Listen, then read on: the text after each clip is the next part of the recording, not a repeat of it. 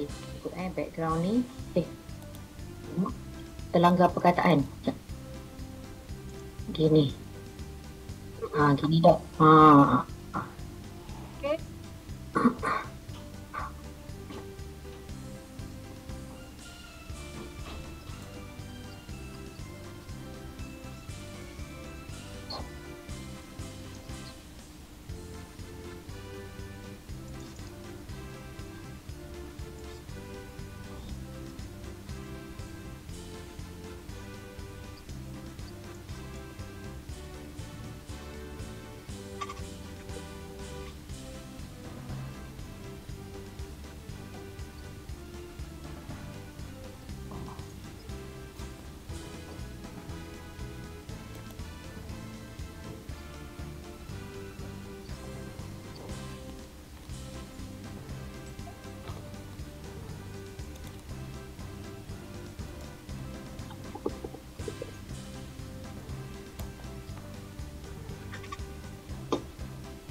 ni? Ya saya. Nanti saya nak WhatsApp nombor 019 eh. Kau nombor-nombor satu lagi. 019. 019. 9 eh? Ah betul. Okey, Yang tadi tadi Hani WhatsApp tu. Okey, okey.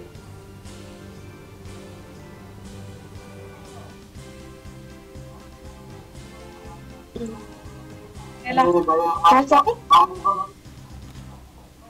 Eh, sekejap, eh, sekejap. Nanti saya tengok kat Zoom balik. Okey, okey, okey.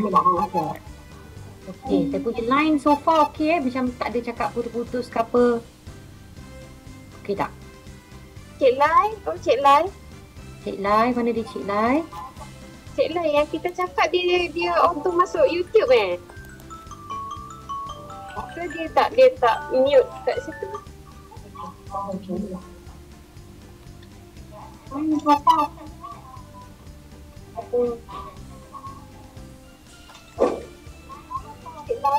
chị lấy cả đi rồi chị lấy cả thân tục lấy kìa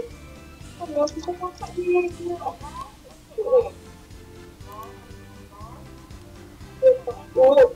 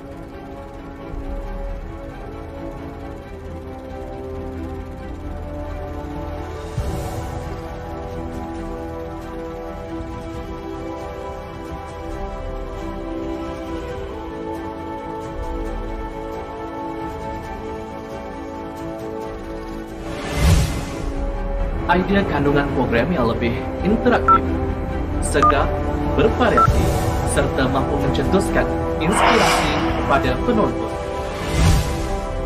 Perisian program berbentuk intelektual, didik hibur, santai serta menikmati. Kandungan maklumat yang tepat dan relevan.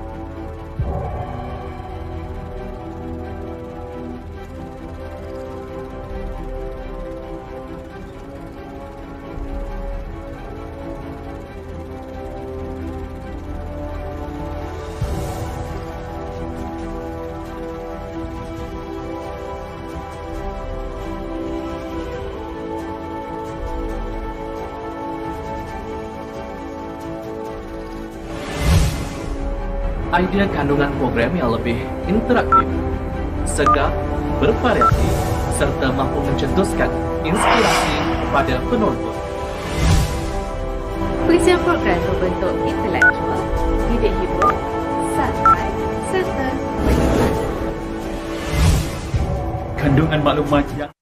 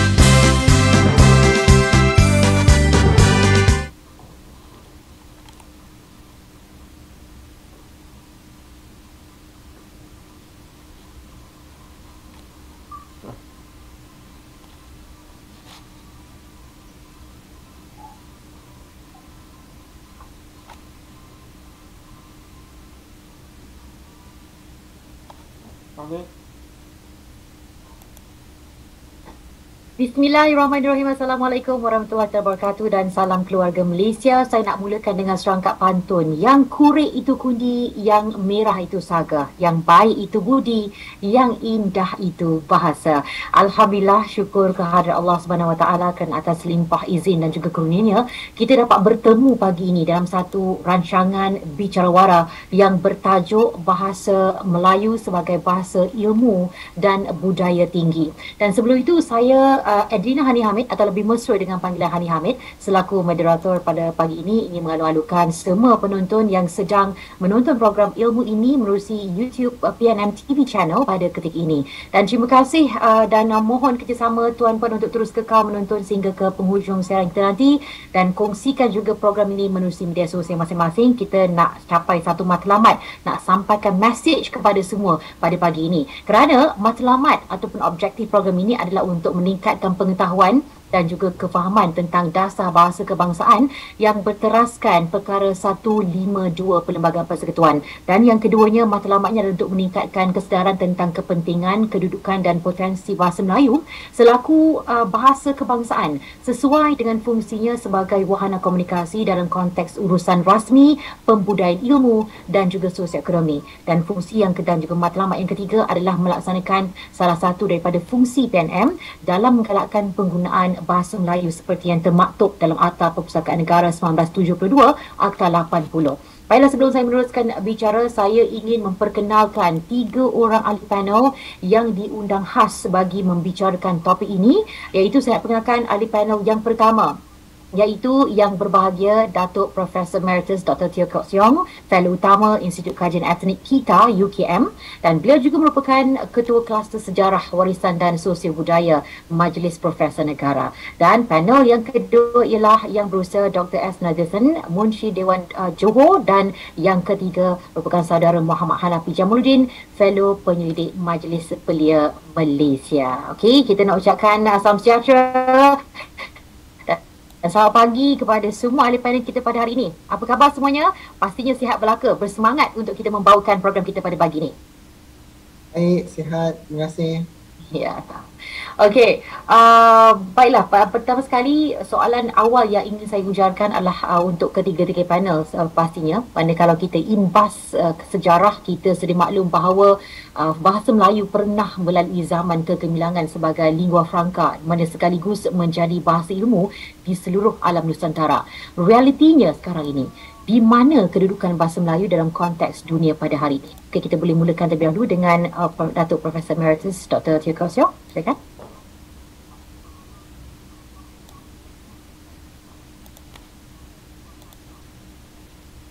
Ya, ah, tidak dapat dinafikan ah, bahawa legasi budaya lampau bahasa Melayu adalah cermelang sekali. Ah, dan ya pada masa dahulu bahasa Melayu berwibawa di mandala dunia seperti yang dikatakan tadi ia pernah menjadi lingua franca bahasa agama bukan saja untuk agama Islam tetapi untuk agama Buddha, Hindu dan Kristian, bahasa perdagangan dan segala macam yang lain. Ya, realitinya sekarang, kedudukannya sekarang, saya kira ia mantap dengan legasi budaya semasa yang cukup hebat di Indonesia. Tetapi malangnya di Malaysia ini, ah, kita ya kita pernah bina semula ah, legasi yang yang ya, yang cemerlang itu.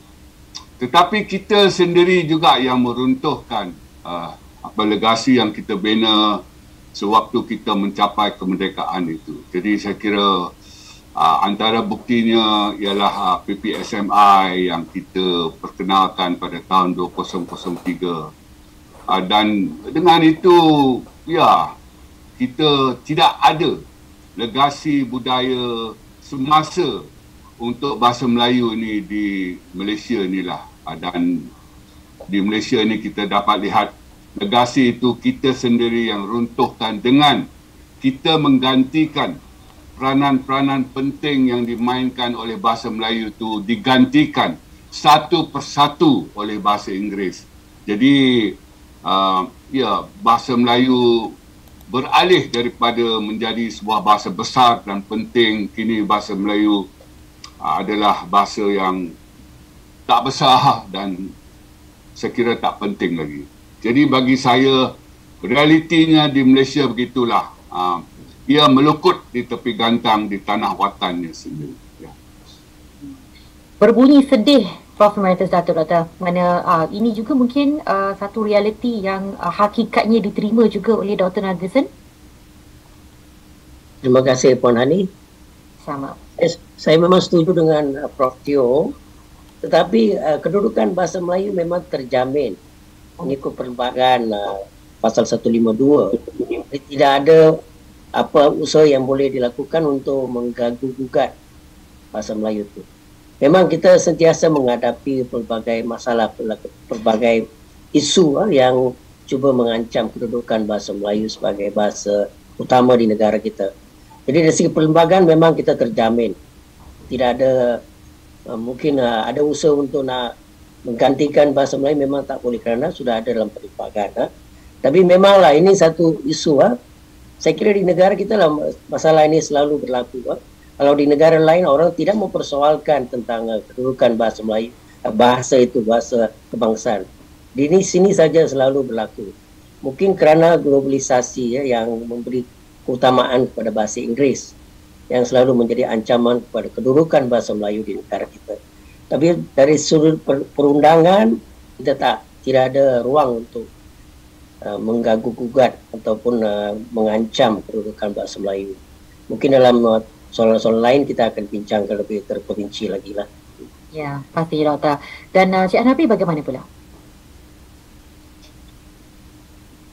Assalamualaikum, selamat sejahtera, selamat pagi. Terima kasih kepada Perpustakaan Negara Malaysia kerana mengundang Majlis Media Malaysia untuk bersama-sama berpartisipasi. Juga yang saya hormati kedua-dua orang rakan bicara panel merupakan uh, sarjana yang memang banyak menyumbang uh, dalam uh, namanya kajian-kajian mengenai bahasa Melayu dan juga pemartabatannya.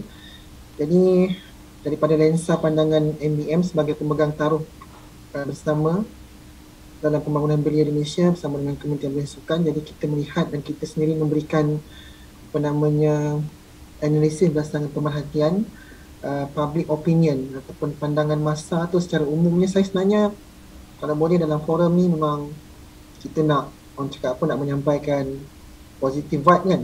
Getaran-getaran positif. Tapi saya rasa saya agak senaga sedikit dengan Prof Prof Dr. Tio kerana memang realitinya memang keadaan apa namanya kita nak panggil apa ya? Uh, nak kata stigma tu tidak lah. Tapi kesedaran lah untuk uh, penggunaan dan perluasan bahasa Melayu tu sebagai bahasa yang dilihat ada nilai-nilai uh, ekonomi dan komersial tu agak uh, masih lagi perlu ditingkatkan dan, dan, diperbaiki.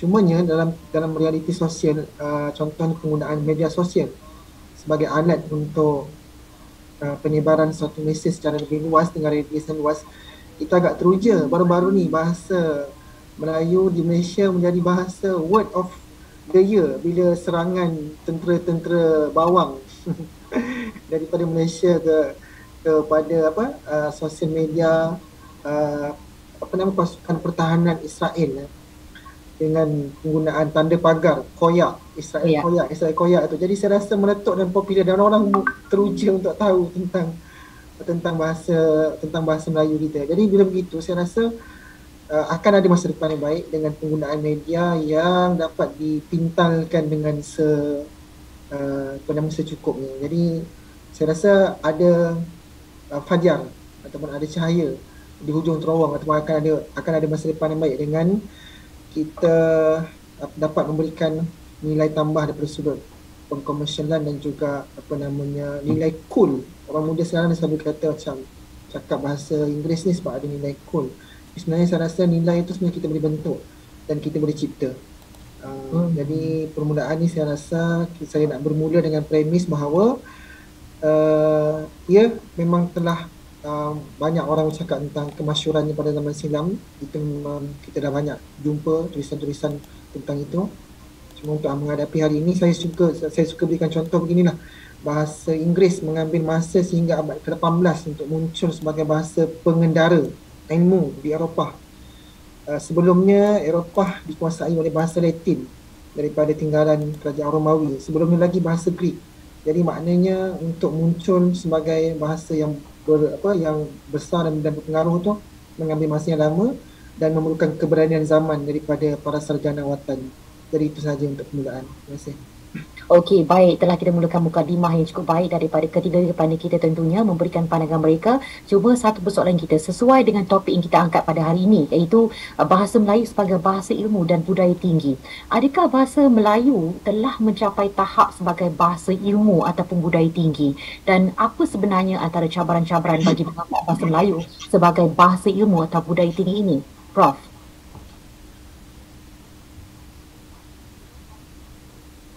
Ya, tidak dapat dinafikan bahawa taraf bahasa Melayu pada hari ini ialah ia sebagai bahasa saintifik moden. Ha, dengan itu ia bermakna bahasa Melayu ini mampu mengungkapkan segala macam hal baik yang konkret maupun yang abstrak dalam apa-apa jua bidang ilmu. Jadi itulah uh, taraf bahasa Melayu hari ini dibina oleh Dewan Bahasa dan Pustaka daripada sebuah bahasa sekuan Melayu sebelum merdeka. Jadi hari ini bahasa Melayu adalah bahasa ilmu, bahasa ilmu tinggi. Jadi dari satu segi bahasa Melayu memang ada keupayaan itu untuk memandaikan anak bangsa dari peringkat serendah-rendahnya ke peringkat setinggi-tingginya dan juga bahasa Melayu ada keupayaan untuk memajukan negara ini. Tetapi sayangnya, cabarannya, ia datang daripada uh, orang Melayu sendiri yang tidak yakin terhadap kemampuan bahasa Melayu ini. Jadi, ada orang Melayu yang berpangkat ya menjadi uh, pemimpin negara, malah pemimpin utama lagi uh, mereka mempertikaikan keupayaan bahasa Melayu ini untuk memandaikan anak bangsa dan membangunkan negara. Jadi bagi saya tak boleh seorang pun orang Melayu macam ini. Sebab kalau ada seorang pun seluruh sejarah Melayu seluruh sejarah bangsa Melayu itu dinafikan. Jadi bagi saya inilah cabarannya.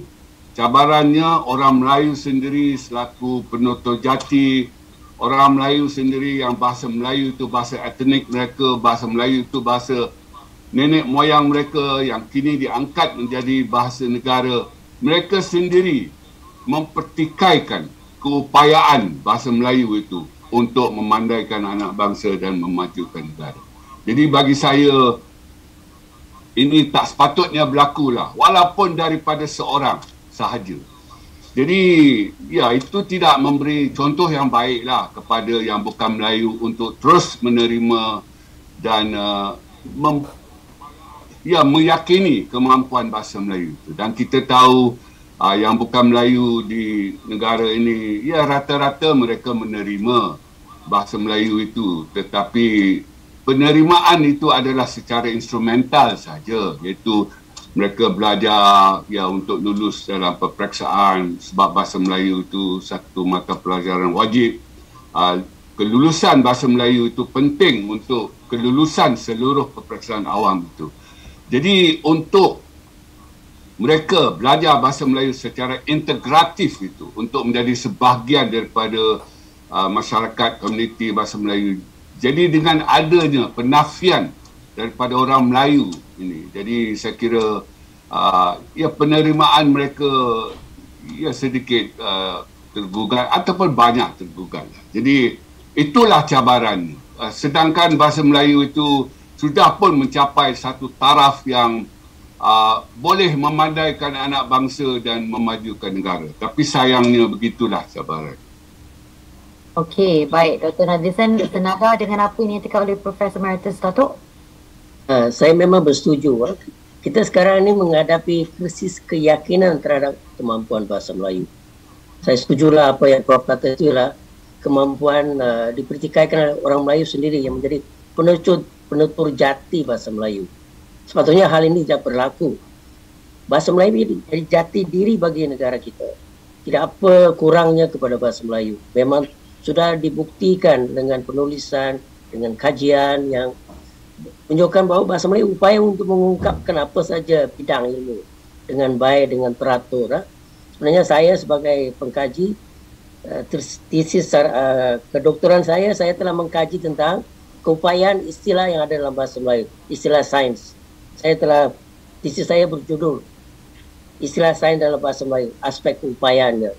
Dan sudah dilulus dan kedoktorannya daripada tesis itu. Jadi saya tidak saya tidak faham kenapa kita sebagai rakyat Malaysia ni kita tidak mau mempertikaikan itu. Ha? Kita sudah terbukti memang bahasa Melayu itu bahasa ilmu dan banyak kajian sudah dilakukan. Sedangkan orang orang luar pun orang barat pun sudah mengagumi dengan kepayaan bahasa Melayu. Cuba tengok tulisan-tulisan yang disiarkan oleh mereka antara bangsa.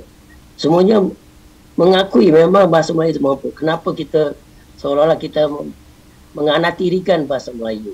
Jadi itulah itu krisis itu terlalu berlaku dari dari semasa, semasa orang mempertikaikan, orang menyuarakan uh, keupayaan, ketidakupayaan bahasa Melayu mereka mengatakan tak cukup istilah, kita nak jadikan sebagai bahasa Indonesia, kita nak uh, mengagung-agungkan penggunaan bahasa Indonesia dalam bahasa Melayu. Setiap bahasa ada jati diri sendiri. Bahasa Melayu ada jati diri, bahasa Indonesia ada jati jati diri sendiri. Jadi tak payahlah kita mempertikaikan. Kita kena menerima hakikat bahawa ini ialah bahasa kebangsaan kita, bahasa ilmu kita dan bahasa yang akan menyatu padukan seluruh rakyat Malaysia. Itulah menjadi kekuatan yang ada pada bahasa Melayu. Saya kira itu sudah-sudah memadai lah.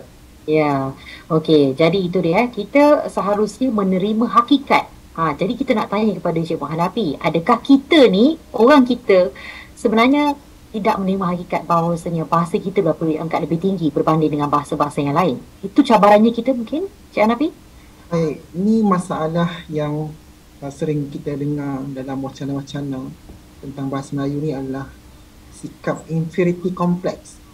Hmm. Saya kadang-kadang tercari-cari juga istilah sasar yang boleh menterjemahkan maksud uh, bukan sekadar rendah diri tapi rasa rasa keadaan yang namanya keadaan sub, submisif penyerahan dan takluk kepada kepada rasa kekaguman dulu terhadap kebudayaan asing.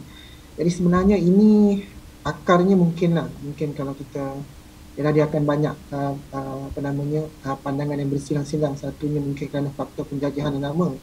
Oleh Zabah sebagai contoh yang mengatakan bahawa uh, peranan kaum penjajah secara sistematik uh, yang telah pun menyebabkan Uh, masyarakat-masyarakat uh, penjajah ni sukar untuk bangkit dan membina mereka punya uh, apa namanya kekayaan sendiri.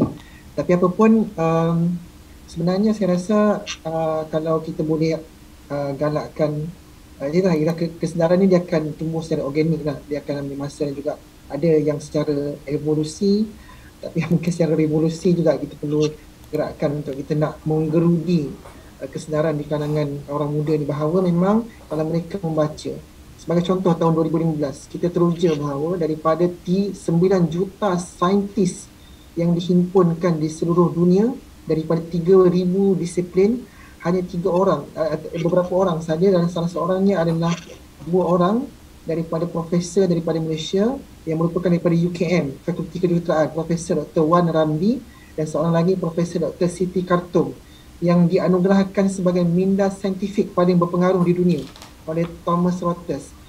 Dan ketika itu uh, saya, saya percaya bahawa DBP dan banyak institusi institusi pemegang taruh mengenai bahasa ini memberikan ucapan tahniah uh, kepada ketokohan dan juga sumbangan mereka ini. Cuma yang boleh kita nak ambil daripada itu adalah bagaimana untuk kita memastikan bakat yang ada. Ini soal bakat ni. Bahasa ni saya percaya bahawa dia macam manusia lah tak semestinya dia cerdik pandai itu bukan ditentukan oleh warna kulit dan juga oleh latar agama. Tidak. Ataupun oleh oleh iklim. Tidak. Dia adalah satu ialah Allah Maha Adil Tuhan itu Maha Adil. Dia semua manusia diberikan lebih dan kurangnya di mana-mana serba sedikit di mana-mana. Tinggal kita untuk mensosialisasikan. Jadi bahasa Melayu ni belum cukup disosialisasikan bakatnya tu. Belum betul-betul di dia apa di uh, dia perakui. Saya, saya bagi contoh Zabah sebagai contoh cukup uh, apa nama terlatih dalam uh, pendidikan Inggeris. Dan bahasa Inggerisnya menurut Ungku Aziz Profesor Jelajah Ungku Aziz dia, beliau mengatakan bahasa Inggeris Pendeta Zakbar ni sangat berkualiti tinggi. Tetapi beliau mengambil jalan yang nampaknya tidak popular dengan terjun untuk membentukkan sistem bahasa Melayu yang cukup yang layak. Dan beliau berjaya membuktikan dalam keadaan kesederhanaan walaupun dia bukan terlatih dalam bidang linguistik. Jadi menunjukkan bahawa dengan ada kemahuan dan keberanian dan moral kita boleh mengangkat uh, bahasa Melayu ni ke peringkat lebih tinggi. Saya berikan satu contoh daripada analisis Tan Sri Sanusi Junid dalam buku ni. Beliau uh, ketika di MYC ada membantu penterjemahan buku daripada Kim Wong Chong yang merupakan konglomerat daripada Korea yang mana Korea ni mengejutkan dunia. Keajaiban ekonomi Korea baru sahaja lepas perang tahun 50-an muncul sebagai kuasa besar ekonomi sehingga kan tahun 2017 menjadi kuasa ekonomi, ekonomi powerhouse ke powerhouse ke-11 terbesar di dunia. Jadi ketika Tan Sri Sanusi buat analisis dia kata ada empat kategori ekonomi negara-negara di dunia. Satu adalah negara-negara ekonomi yang berbahasa Inggeris. The English speaking democracy. The English speaking democracy. Seperti Malaysia, Australia, India zaman itu. Dan dia kata keadaan ekonomi di negara ini di negara-negara bekas jajahan ni nampaknya berada dalam keadaan meleset. Yang kedua boleh sebutkan negara-negara komunis. Seperti uh, waktu itu uh, China, Cuba dan beberapa lagi negara-negara lain dan beliau menyebutkan keadaan ekonomi meleset teruk. Kemudian negara-negara Islam dan negara-negara Kristian, negara Islam di Asia Barat dan negara Kristian di Amerika Latin. Ini pun mengalami masalah ekonomi sama ada disebabkan oleh politik ataupun politik disebabkan oleh ekonomi. Dan satu lagi beliau sebutkan di sini adalah negara-negara dan non-English speaking demokrasi seperti Taiwan, Jepun, Korea Selatan, Jerman, Perancis. Mereka ni tak bertutur bahasa Inggeris pun tetapi hebat menjadi kuasa ekonomi besar. Jadi memang tidak ada alasan bahawa bakat bahasa pribumi itu sebenarnya patutlah digerakkan oleh mereka yang tercerah seperti uh, Prof. Dr. Natesan ni yang melihat bahawa sebenarnya bangsa pribumi itu sendiri, penutur jatinya sendiri dan juga masyarakat yang menghuninya itu sendiri yang sepatutnya memberikan perhatian dan macam orang kata macam polish lah mengilatkan dia punya keupayaan supaya dia betul-betul dapat berdiri sendiri untuk rekod kita dah buktikan dah banyak lah minda saintifik dan sebagainya itu telah jadi bukti yang nyata Profesor Syarif Makzin pun ahli, ahli apa saintis matematik yang banyak membuktikan istilah-istilah yang boleh diterbitkan jadi tinggal kita lah terima kasih untuk yang kedua ni Mm-hmm. Okey, baik Jadi Saya, saya suka apabila uh, Cik Anafi menyebut tentang complex inferiority. Besar kemungkinan itu menjadi satu um, benteng ataupun satu halangan bagi um, masyarakat dan khususnya generasi muda ini untuk kelihatan cool uh, kalau sekiranya uh, mereka tidak menggunakan bahasa yang lain selain daripada bahasa kita. Okey dan uh, kalau kita boleh mengangkat juga tentang isu-isu semasa mana uh, kita ingin tahu juga apakah isu semasa tentang bahasa yang sering menjadi polemik dalam masyarakat majmuk sehingga menjadi penghalang perkembangan sesuatu bahasa itu dan jika ini benar sejauh mana sebenarnya kesannya terhadap perkembangan bahasa Melayu dalam konteks negara kita Prof. Tio? Ya, untuk soalan tentang polemik ni, saya kira saya nak berkongsi ataupun nak angkat satu isu lah, iaitu ketidakcekapan uh, masyarakat Cina dalam berbahasa Melayu sedangkan ia bahasa negara. Jadi kita tahu rata-rata 90% uh, masyarakat Cina pergi ke sekolah vernacular. Jadi di sekolah vernacular itu lepasan-lepasan sekolah vernacular dalam kalangan anak-anak Cina ni. Uh, mereka hanya fasih berbahasa Cina saja uh, walaupun diajar dua bahasa yang lain iaitu bahasa Inggeris dan bahasa Melayu. Jadi oleh sebab mereka hanya fasih dalam bahasa Cina uh, tak tak fasih dalam bahasa Inggeris dan bahasa Melayu. Jadi untuk membaca misalnya akhbar mereka hanya membaca akhbar dalam bahasa Cina.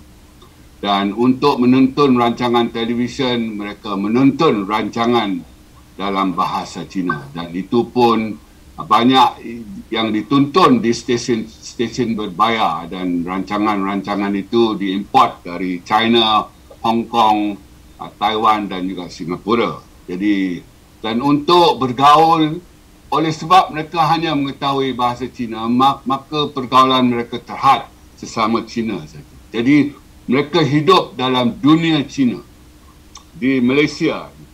Jadi uh, ya kerajaan mengetahui masalah ini dan kerajaan mempunyai cadangan untuk mempertingkatkan ketidakcekapan berbahasa Melayu sedangkan ia bahasa negara dalam kalangan pelajar-pelajar Cina ini. Tetapi setiap satu saranan kerajaan itu ditolak oleh masyarakat Cina dengan al- alasan bahawa uh, ya saranan-saranan itu akan menjejaskan identiti sekolah vernacular ataupun akan menjejaskan uh, identiti pendidikan Cina. Jadi nak tak nak uh, ini menjadi penghalang kepada perpaduan. Jadi saya melihat uh, ini sesuatu yang perlu kita uh, tangani secepat mungkin lah.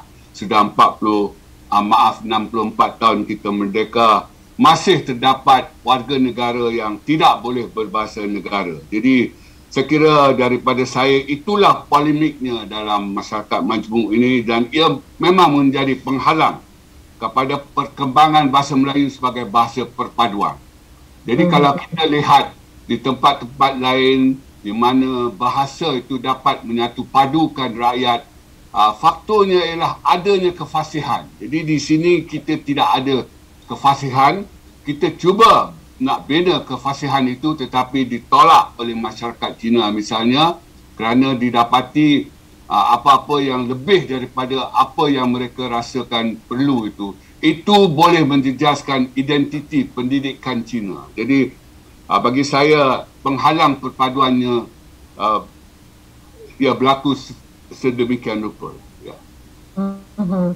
Okey baik uh, agak menyedihkan juga apabila realiti ini diangkat oleh profesor uh, pada waktu ini dan uh, seperti mana juga dinyatakan oleh Dr. Nabilson awal tadi bahawasanya tidak satu masalah yang menghalang sebenarnya sebab kita terikat juga dengan undang-undang uh, di bawah perkara 152 Perlembagaan Persekutuan. Cuma pada hal ini uh, apa sebenarnya isu semasa yang boleh kita garap lagi Dr. Nabilson ada bila kita bercakap tentang Uh, bahasa yang sering menjadi polemik dalam masyarakat majmuk sehingga menjadi penghalang perkembangan sesuatu bahasa khususnya untuk bahasa Melayu ini. Ada. Uh, saya memahami keluhan uh, Prof. Tio tu memang banyak kali beliau telah menyuarakan pandangan ini. Ya. Saya rasa kita kena menyebabkan uh, kita kena membawa bahasa Melayu dekat dengan orang masyarakat Tionghoa ini ya. Uh, saya beri sebagai guru saya mulakan pengajaran di sekolah menengah saya diberikan satu kelas yang semuanya murid Cina datang daripada aliran uh, sekolah peralihan. Saya ditugaskan untuk mengajar bahasa Melayu. Yang pertama saya buat, saya uh, menyebabkan mereka cinta terhadap bahasa Melayu. Tak kenal tak cinta lah. Jadi saya cuba memperkenalkan bahasa Melayu secara dekat dengan pelajar-pelajar itu.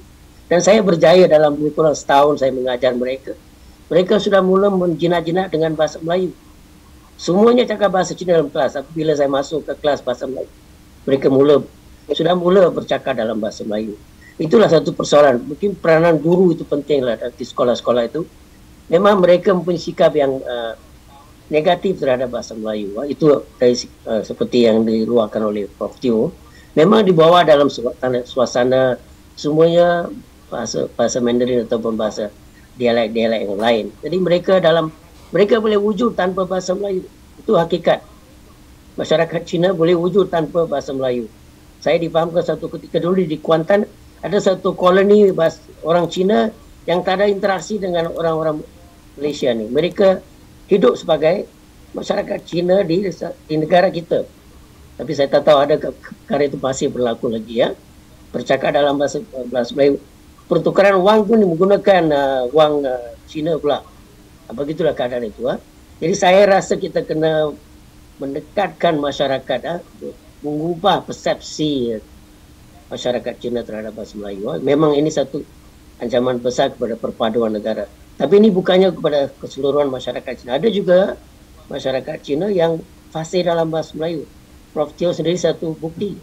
Ada ramai lagi dalam penulisan, bidang penulisan banyak cerpenis, novelis yang datang dari masyarakat Cina. Jadi mungkin kita kena usaha lah mungkin apa yang disarankan oleh Prof Tio itu pentinglah kita belajar kena usaha lah. Kerana ini satu isu besar kalau dibiarkan. Tapi saya nampak dalam kalangan masyarakat Cina yang muda itu ada perubahan, ada perubahan uh, aspek itu. Uh. Jadi kita harapkanlah. Bila cakap polemik itu polemik, polemik itu tidak berhenti. Dari sejak dulu lagi polemik itu berlaku. Saya lihat polemik tentang penggunaan bahasa ini sebagai satu perdebatan akademik antara dua orang tokoh atau tiga orang tokoh. Macam saya masih ingat dari dulu, Pak Asraf selalu berdebat dengan Dr. Liao dari Singapura. Tapi saya nampak itu sebagai satu, satu yang sehat. Mereka membicarakan penggunaan bahasa Melayu, amalan bahasa Melayu. Kemudian Prof. Uh, Awang Sarian juga berdebat dengan Prof. Uh, Rahman Syari. Kerana isu-isu bahasa itu, uh, itu sehat. Itu tak ada, itu tidak menjejaskan atau memberi impak yang teruk kepada bahasa Melayu. Yang uh, yang Prof. Prof. Tio menimbulkan itulah menjadi isu itu. Uh. Kita sebagai rakyat Malaysia uh, bernaung di negara kita, kita mestilah mengetepikan soal-soal uh, kepribadian dan mestilah bersatu. Dan tunjangnya ialah bahasa Melayu. Jadi itu mungkin satu perkara yang serius perlu ditangani segera seperti yang disarankan Prof. Itu. Mm-hmm. Okey baik. Dan masa yang sama juga Encik Anapi kita ingin tahu juga ya apa daripada pandangan dan kajian yang mungkin telah dilakukan, perhatian dilakukan tentang isu semasa ya tentang bahasa yang sering menjadi polemik dalam masyarakat majmuk sehingga menjadi penghalang perkembangan satu bahasa itu. Pada um, hemat Encik Anapi silakan. Ya, uh, saya nak uh, majukan dua uh, contoh tapi saya nak uh, uh, dua contoh tu termasuklah contoh yang dikemukakan oleh Prof. Tio dengan Dr. Nathan tadi. Ya. Sebenarnya memang spot on.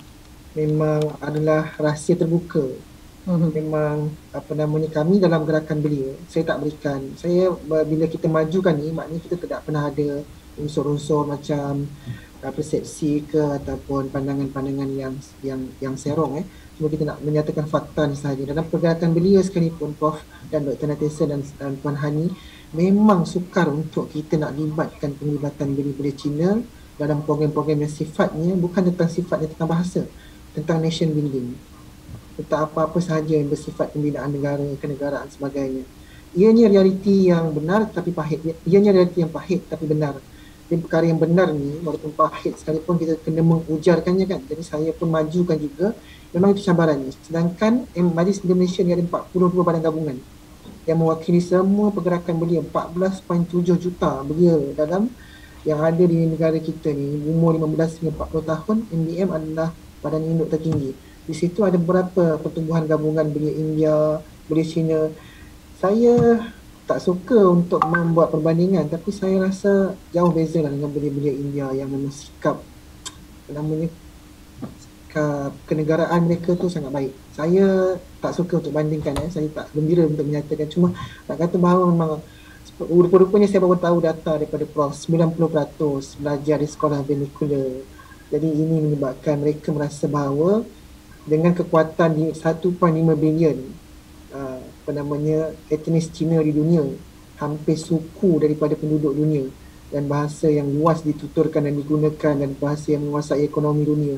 Jadi saya percaya mungkin kita sendiri pun kalau ditakdirkan lahir sebagai kaum Cina mungkin kita pun merasa begitu tak perlulah bergantung kepada bahasa bahasa tambah lagi pula bakat bahasa Melayu tidak betul-betul digilap dengan baik oleh para para pemimpin-pemimpin ni. Orang-orang Melayu sendiri di, di kalangan penutur jatinya uh, graduasi daripada universiti luar negara terpengaruh dengan kehidupan Anglophile Anglophile ni memuja kebudayaan Inggeris sebagainya. Jadi menyebabkan mereka ni disconnected. Tidak boleh tidak tuan-tuan saya tetap percaya dan saya meyakini sebenar-benarnya kekayaan terbesar tu adalah kita maju dengan memakai uh, pakaian sendiri lah. Tak guna terlihat cantik tapi memakai baju orang lain. Maksudnya di sini adalah kita nak memperagakan ke apa nama keindahan ke kecantikan tu dengan baju sendiri lah yang kita beli sendiri yang kita usahakan yang kita jahit sendiri. Jadi bahasa kita bagaimana sekalipun Zabah sebut bagaimana miskinnya sekalipun tak ada bahasa di bumi kita yang patut kita perkasakan dan, dan kita perkuat dan kita perkukuhkan. Jadi itu yang pertama saya nak tinggalkan. Yang kedua adalah mungkin isu cabaran yang saya lihat adalah kita ada 300 juta penutur di seluruh dunia yang memakai bahasa Melayu.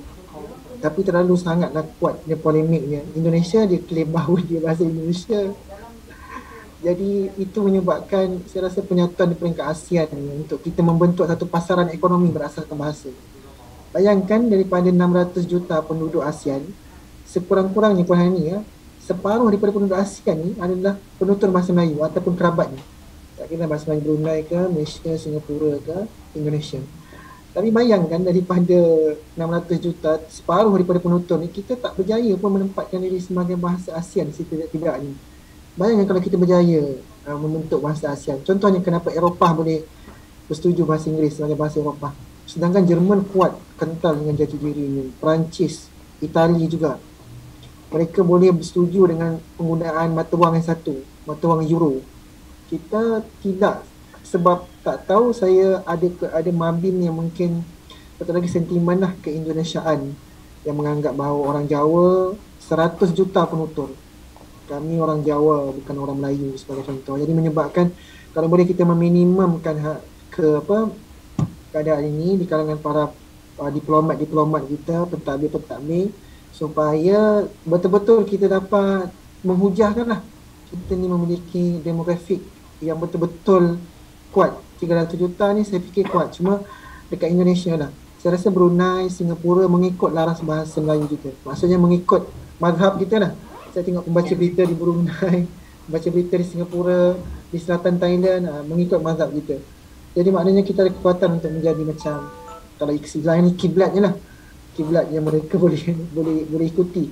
Tinggal lagi kalau tidak dapat uh, diplomasi yang baik daripada Indonesia sukar untuk kita bentuk. Sehingga kan orang melihat terpisah pula. Bahasa Melayu satu bahasa Indonesia satu. Jadi ini saya rasa cabaran besar lah. Untuk kalau ini berjaya ditangani bayangkan dia akan membentuk juga ada pasaran ekonomi dan komuniti Cina yang memang banyak terlibat dalam dunia bisnes ni mungkin akan boleh me, apa mengikuti dan takluk dan juga akan rasa bahawa ada nilai komersial yang mereka perlu ikuti kerana semua kepentingan ekonomi menggunakan bahasa tu di, rantau ini. Terima kasih. Baik, baik. Terima kasih Cik Nafi. Dalam masa yang sama juga ya ada turut yang menyatakan bahawasanya bagi sesuatu untuk untuk dikenal pasti dan diangkat dan diiktiraf maka perlu adanya sambutan. Kerana kalau walaupun terdapat fakta menyatakan bahawa penutur bahasa Melayu dianggapkan berjumlah 300 juta dan bahasa Melayu adalah antara bahasa paling ramai penutur di dunia, uh, walaupun belum lagi ada sambutan hari yang khusus untuk bahasa Melayu pada peringkat dunia UNESCO sebagaimana bahasa lain seperti bahasa Arab, Perancis dan juga Mandarin. Jadi apa pandangan daripada Prof, Doktor dan juga Saudara Hanapi tentang perkara ini? Perlu sambutan? Prof? Ya, tentang uh, sambutan uh, terhadap bahasa Melayu di peringkat dunia, uh, ya khususnya di UNESCO itu. Uh, dalam hal ini, uh, ya Indonesia berhasrat untuk menjadikan bahasa Indonesia itu bahasa bangsa-bangsa bersatu, bahasa pertubuhan bangsa-bangsa bersatu yang ketujuh. Setakat ini uh, enam bahasa telah diangkat menjadi bahasa-bahasa pertubuhan bangsa-bangsa bersatu seperti yang disebutkan oleh Hani tadi uh, dan Indonesia berhasrat pada tahun 2045 tak lama lagi uh, dalam 40 tahun lagi Indonesia mau uh, merealisasikan bahasa Indonesia itu sebagai bahasa ketujuh untuk pertubuhan bangsa-bangsa bersatu. Dari satu segi ia bagus sekali lah. Uh, tetapi mereka menegaskan uh, ya saya memetik kata-kata yang digunakan oleh wakil mereka semasa kami uh, berseminar dan uh, bermesyuarat uh, pada tahun 2019 uh, iaitu April di Kuala Lumpur sewaktu adanya MABIM itu iaitu mesyuarat um, tahunan uh, ataupun dui tahunan Majlis Bahasa Brunei uh, Indonesia dan Malaysia. Mereka berkata mereka mau jalan sendiri-sendiri. Maknanya untuk menjadikan bahasa Indonesia itu bahasa yang ketujuh uh, di pertubuhan bangsa-bangsa bersatu. Mereka tidak mau bekerjasama dengan Malaysia. Mereka mau jalan sendiri-sendiri. Itu kata-kata daripada wakil mereka. Jadi bagi saya uh, mereka boleh saja melakukannya sendiri sebab seperti yang dikatakan oleh saudara Hanafi tadi daripada 300 juta penutur bahasa Melayu di dunia ini uh, 270 datang daripada Indonesia uh, jadi mereka ada kekuatan di situ. Yang kedua, mereka ada legasi budaya semasa. Kita tidak ada. Dan kalaulah uh, betul bahasa Melayu itu nak diangkat menjadi bahasa penting di dunia, pasti uh, mereka yang nak mengangkat itu akan akan uh, ke Malaysia untuk memastikan kedudukan bahasa Melayu di Malaysia. Jadi mereka pasti akan mendapati ia melekut di tepi gantang di Malaysia. Ia tidak ada legasi semasa. Di Indonesia memang ia ada legasi semasa yang cukup kuat dan kita dapat lihat para pemimpin Indonesia semenjak dahulu sampai ke hari ini dan saya kira selama-lamanya akan berucap dalam bahasa Indonesia di Perhimpunan Pertubuhan Bangsa-Bangsa Bersatu. Ya, saya kira dua tiga minggu ataupun beberapa hari yang lepas ada perhimpunan ini. Ya, Perdana Menteri kita berucap dalam bahasa Inggeris sedangkan Presiden Indonesia berucap dalam bahasa Indonesia. Jadi saya kira uh, malang sekali lah uh, kalau kita ditinggalkan dalam hal ini. Sebab kita ya bekerjasama dengan Indonesia untuk membina bahasa Melayu di peringkat rantauan ini sehingga kan kita sanggup mengorbankan i bertanda ha, kalau dahulu kita yang tua-tua ni untuk untuk mengeja semak dengan semak tu uh, ejaannya hmm. lain ha, kalau semak belukar tu i tu ada tanda di atas itu semak i nya tak ada apa-apa jadi itulah ejaan kita guna pakai ejaan zabah sebelum kita lancarkan yang baru bersama-sama dengan Indonesia ini pada tahun 72. Kita korbankan yang itu. Dan sekarang mereka nak tinggalkan kita. Saya cukup rasa tak patutlah dalam hal ini. Jadi itu respon saya lah. Ha. Mm-hmm.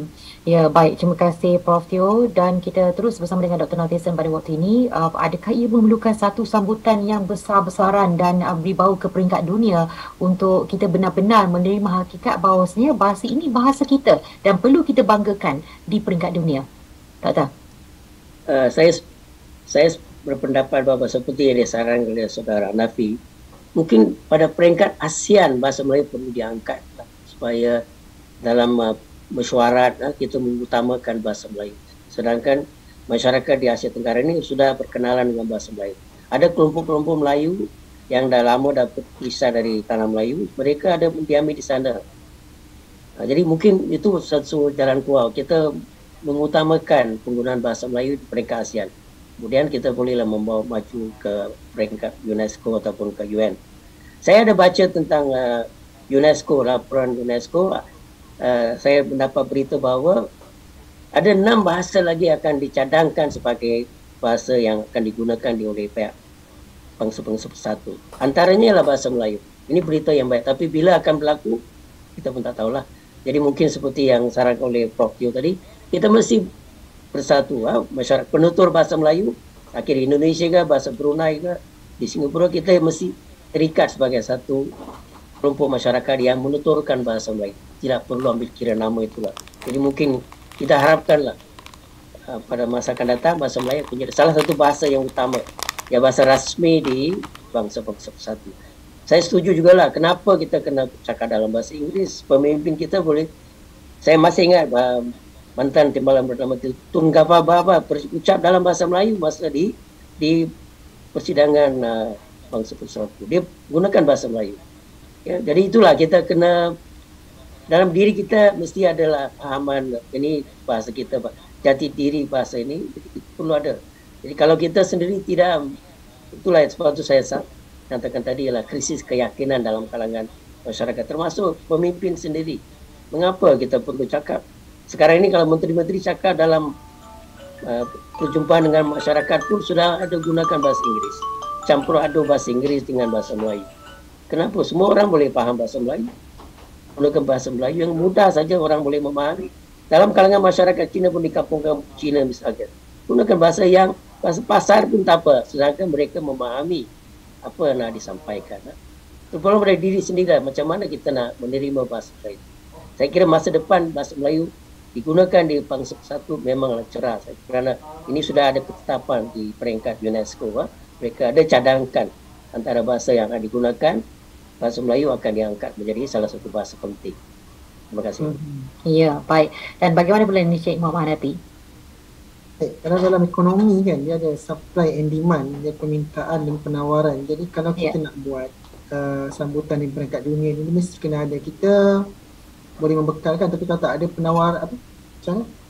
Uh, kalau macam mana kalau uh, Tidak ada permintaan? kalau tak ada permintaan macam mana kita boleh tawarkan kan? Jadi sebenarnya kita boleh saja buat sambutan tu saya rasa tak ada masalah. Tapi bayangkan kalau tak ada siapa-siapa yang meminta. Maknanya tidak ada kita tidak mencipta pasaran itu. Walaupun telah ada contohnya di Rusia jabatan apa pengajian bahasa Melayu diajarkan di di di, di China di beberapa negara di Eropah dan sebagainya itu banyak tapi dia belum betul-betul menjadi bahasa yang ada nilai nilai apa nilai ekonomi dan juga nilai komersial. Jadi boleh saja kita buat tapi kita bimbang hanya sekadar aksesori sajalah. Hanya sekadar uh seremonial sajalah. Dia punya substance ataupun isinya itu tidak betul-betul uh, boleh dimasak ataupun boleh di boleh dimakan. Jadi saya rasa yang boleh kita bermula adalah setidak-tidaknya di peringkat adalah kita dah ada kan bahawa semalam pun uh, menteri menteri pendidikan pun luncurkan uh, dekat bahasa kebangsaan ya apa? Dekat bahasa Melayu 2016 2025 saya tak ingat uh, dia punya kerajuk panjang ni. Memang telah ada sebelum ni pun ada bulan bahasa kebangsaan dan sebagainya. Jadi saya rasa kita kena um, kita tu maksudnya menuju macam pertubuhan-pertubuhan seperti NGO seperti kami ni. Kalau nak buat peringkat kebangsaan atau nak buat peringkat uh, antarabangsa seperti UNESCO, PBB itu mungkin boleh bercita-cita sahaja. Dulu kan? Tapi di peringkat dalaman ni pun kalau kita berjaya untuk buatkan hari bahasa Melayu. Tapi itulah kalau buat hari sahaja kadang-kadang orang pun hanya melihat sekadar seremonial kan? Yang penting macam mana nak memastikan dia betul-betul dapat diratakan. Jadi saya nampak beberapa kaedah lah boleh Uh, tapi sebelum tu saya nak jawab tentang soalan yang yang ditanya tu dulu adalah saya rasa memang ada keperluan tetapi bergantunglah kepada pihak yang berkenaan itu. Dan saya percaya bahawa kalau itu berjaya dia memberi impak juga. Cuma bukanlah impak dia tu tiba-tiba terus orang boleh ni kan. Cuma mungkin di peringkat dunia kita akan sepak lah bahawa uh, bah- bahasa Melayu adalah satu, satu daripada bahasa yang ada ratusan di dunia ni. Tapi yang lebih lebih mendasar adalah bagaimana untuk mencipta lebih banyak apa namanya membanjirkan penggunaan bahasa Melayu dalam media-media digital, media-media baru. Saya melihat kebanyakannya ini bukan soal media lagi dah. Yang bukan media pun contoh taman-taman perumahan dibuka semua nak taman-taman bahasa Inggeris. Saya fikir begini kan. Adakah penggunaan bahasa Inggeris akan menyebabkan tidurnya lebih nyenyak, tilamnya lebih empuk? Tidak, dia sebenarnya soal mental saja. Bahawa bila gunakan itu maknanya nilai ekonominya lebih tinggi. Saya rasa ini satu masalah lah sebab tak ada perubahan apa-apa pun. Bila guna bahasa Inggeris dengan guna bahasa Melayu tak adalah catnya lebih, lebih cantik ke ataupun bumbungnya lebih mahal ke. Saya fikir kita kena betulkan lah. Sekurang-kurangnya itu sahaja telah membentuk kita punya kita punya sikap lah paradigma kita terhadap bahasa. Kita tu merujuk kepada seluruh bangsa lah. Uh, Ya. soalan orang Melayu sendiri termasuklah kaum Cina, kaum India dan, dan, dan yang lain-lain. Jadi cabaran itu memang saya selalu nampak dan kami pun selalu fikir untuk kita nak menguasai dalam media-media baru, media media digital ni sebagai, sebagai contoh kita lihat muncul ikon-ikon yang banyak menggunakan bahasa Melayu dengan fasih contohnya kalau kaum Cina adalah uh, Douglas Lim yang Hmm. banyak buat video-video satira kaum India Dr. Bala, Dr. Malar Dr. Malar yang banyak sangat bagi memang sangat fasih. Dan tambah pula bila kita berkurung masing-masing punya pertautan engagement dengan sosial media makin tinggi. Jadi mereka sedikit sebanyak dapat membelilah. Wah ada seorang dua orang yang sangat uh, apa namanya sangatlah menunjukkan jiwa Malaysia ni tu. Jadi kita kena perbanyakkan uh, sebelum kita uh, apa perbanyakkan kaedah-kaedah cara-cara begini sebelum kita bergerak ke lebih uh, peringkat yang lebih jauh tu lah termasuk dalam hmm. mewujudkan hari bahasa Melayu di peringkat dunia. Saya tak pernah nak uh, nafikan tentang kepentingannya, perlu kalau mampu, kalau ada yang nak beli, kalau ada yang nak menawarkan. Tapi untuk awal ini, elok kita mem- memperbanjirkan dulu di dalam media-media kita sebab dia akan membentuk pandangan masa, public opinion terhadap uh, bahasa. Mm-hmm. Ya, baik dan uh, uh, bila mengangkat tentang peranan um, mereka yang popular di alam maya yang khususnya seperti mana nama-nama yang disebutkan tadi uh, seperti Dr. Slim dan juga Dr. Mala. Kita nak tanya kepada Prof ya berkaitan dengan peranan ikon-ikon ini yang seharusnya uh, dijadikan contoh yang baik tetapi mereka telah memberikan contoh yang baik seperti mana dua individu yang telah disebutkan oleh Cik Puan Hafi tadi tetapi dalam masa yang sama Prof uh, ada uh, apabila kita mendengarnya kita kata wah baguslah bahasa Melayu dia. Wah cemerlangnya bahasa Melayu dia. Tetapi kita sendiri tidak mempunyai satu anjakan untuk kita berbuat demikian. Malah masih lagi belum boleh berubah dalam memberikan satu kebanggaan kepada bahasa Melayu itu sendiri. Prof bagaimana? Ya, tidak dapat dinafikan kan. Kita ya kita rata-ratanya lah tidak ada perasaan bangga apatah lagi sayang dan apatah lagi setia kepada bahasa negara kita Jadi dalam hal ini saya kira perlu sangat-sangat ada perubahan sikap itulah. Sikap itu perlu berubah. Dan ianya mesti bermula daripada orang Melayu yang uh, ya yang merupakan penutur jati kepada bahasa Melayu. Jadi orang Melayu perlu memperlihatkan teladan yang baik untuk dicontohi oleh yang lain-lain. Jadi saya kira walaupun kita ada ikon-ikon yang disebutkan tadi, uh, ia hmm. ia tak ramai lah dan uh, biasanya digunakan balik oleh orang Cina. Tengok uh, dia sekian-sekian fasih berbahasa Cina. Seolah-olah yang lain pun semua uh, kefasihannya sama dengan yang ikon itu. Jadi saya kira ya perlu ya saya kira dalam hal bahasa Melayu ni kita hmm. uh, gagal dalam beberapa aspek pembentukan negara bangsa. Jadi kita perlu lihat kembali mengapa masih ada uh, warga negara yang tidak mau, tidak bangga berbahasa negara, tak boleh berbahasa negara seperti hmm. dalam kalangan uh, masyarakat Cina itu. Jadi ini satu isu nasional ini yang tak boleh kita uh, kata orang Inggeris sweep under the carpet. Uh, jadi yeah. setelah banyak kali kita sweep under the carpet ini. Sedangkan ia satu isu nasional yang ada uh, impaknya terhadap perpaduan nasional ini. Jadi saya kira uh, kita harus berjiwa besar lah. Kita ada masalah hmm. dan kita uh, perlu selesaikan masalah. Mm-hmm.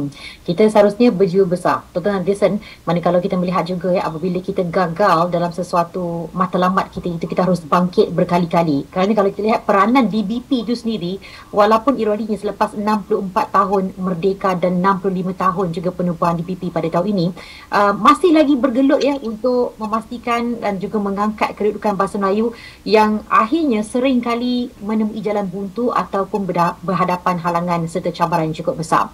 Jadi keperluan adanya uh, seperti ikon-ikon yang kita sebutkan tadi tu uh, peranan mereka yang mempunyai satu uh, peranan yang besar dalam masyarakat pengaruhnya besar dalam masyarakat seharusnya memainkan peranan yang penting dalam soal ini. Dr. Nadizan, bagaimana? Betul lah kita mesti melahirkan ramai lagi ikon lah, ataupun uh, orang yang fasih berbahasa Melayu tu. Uh.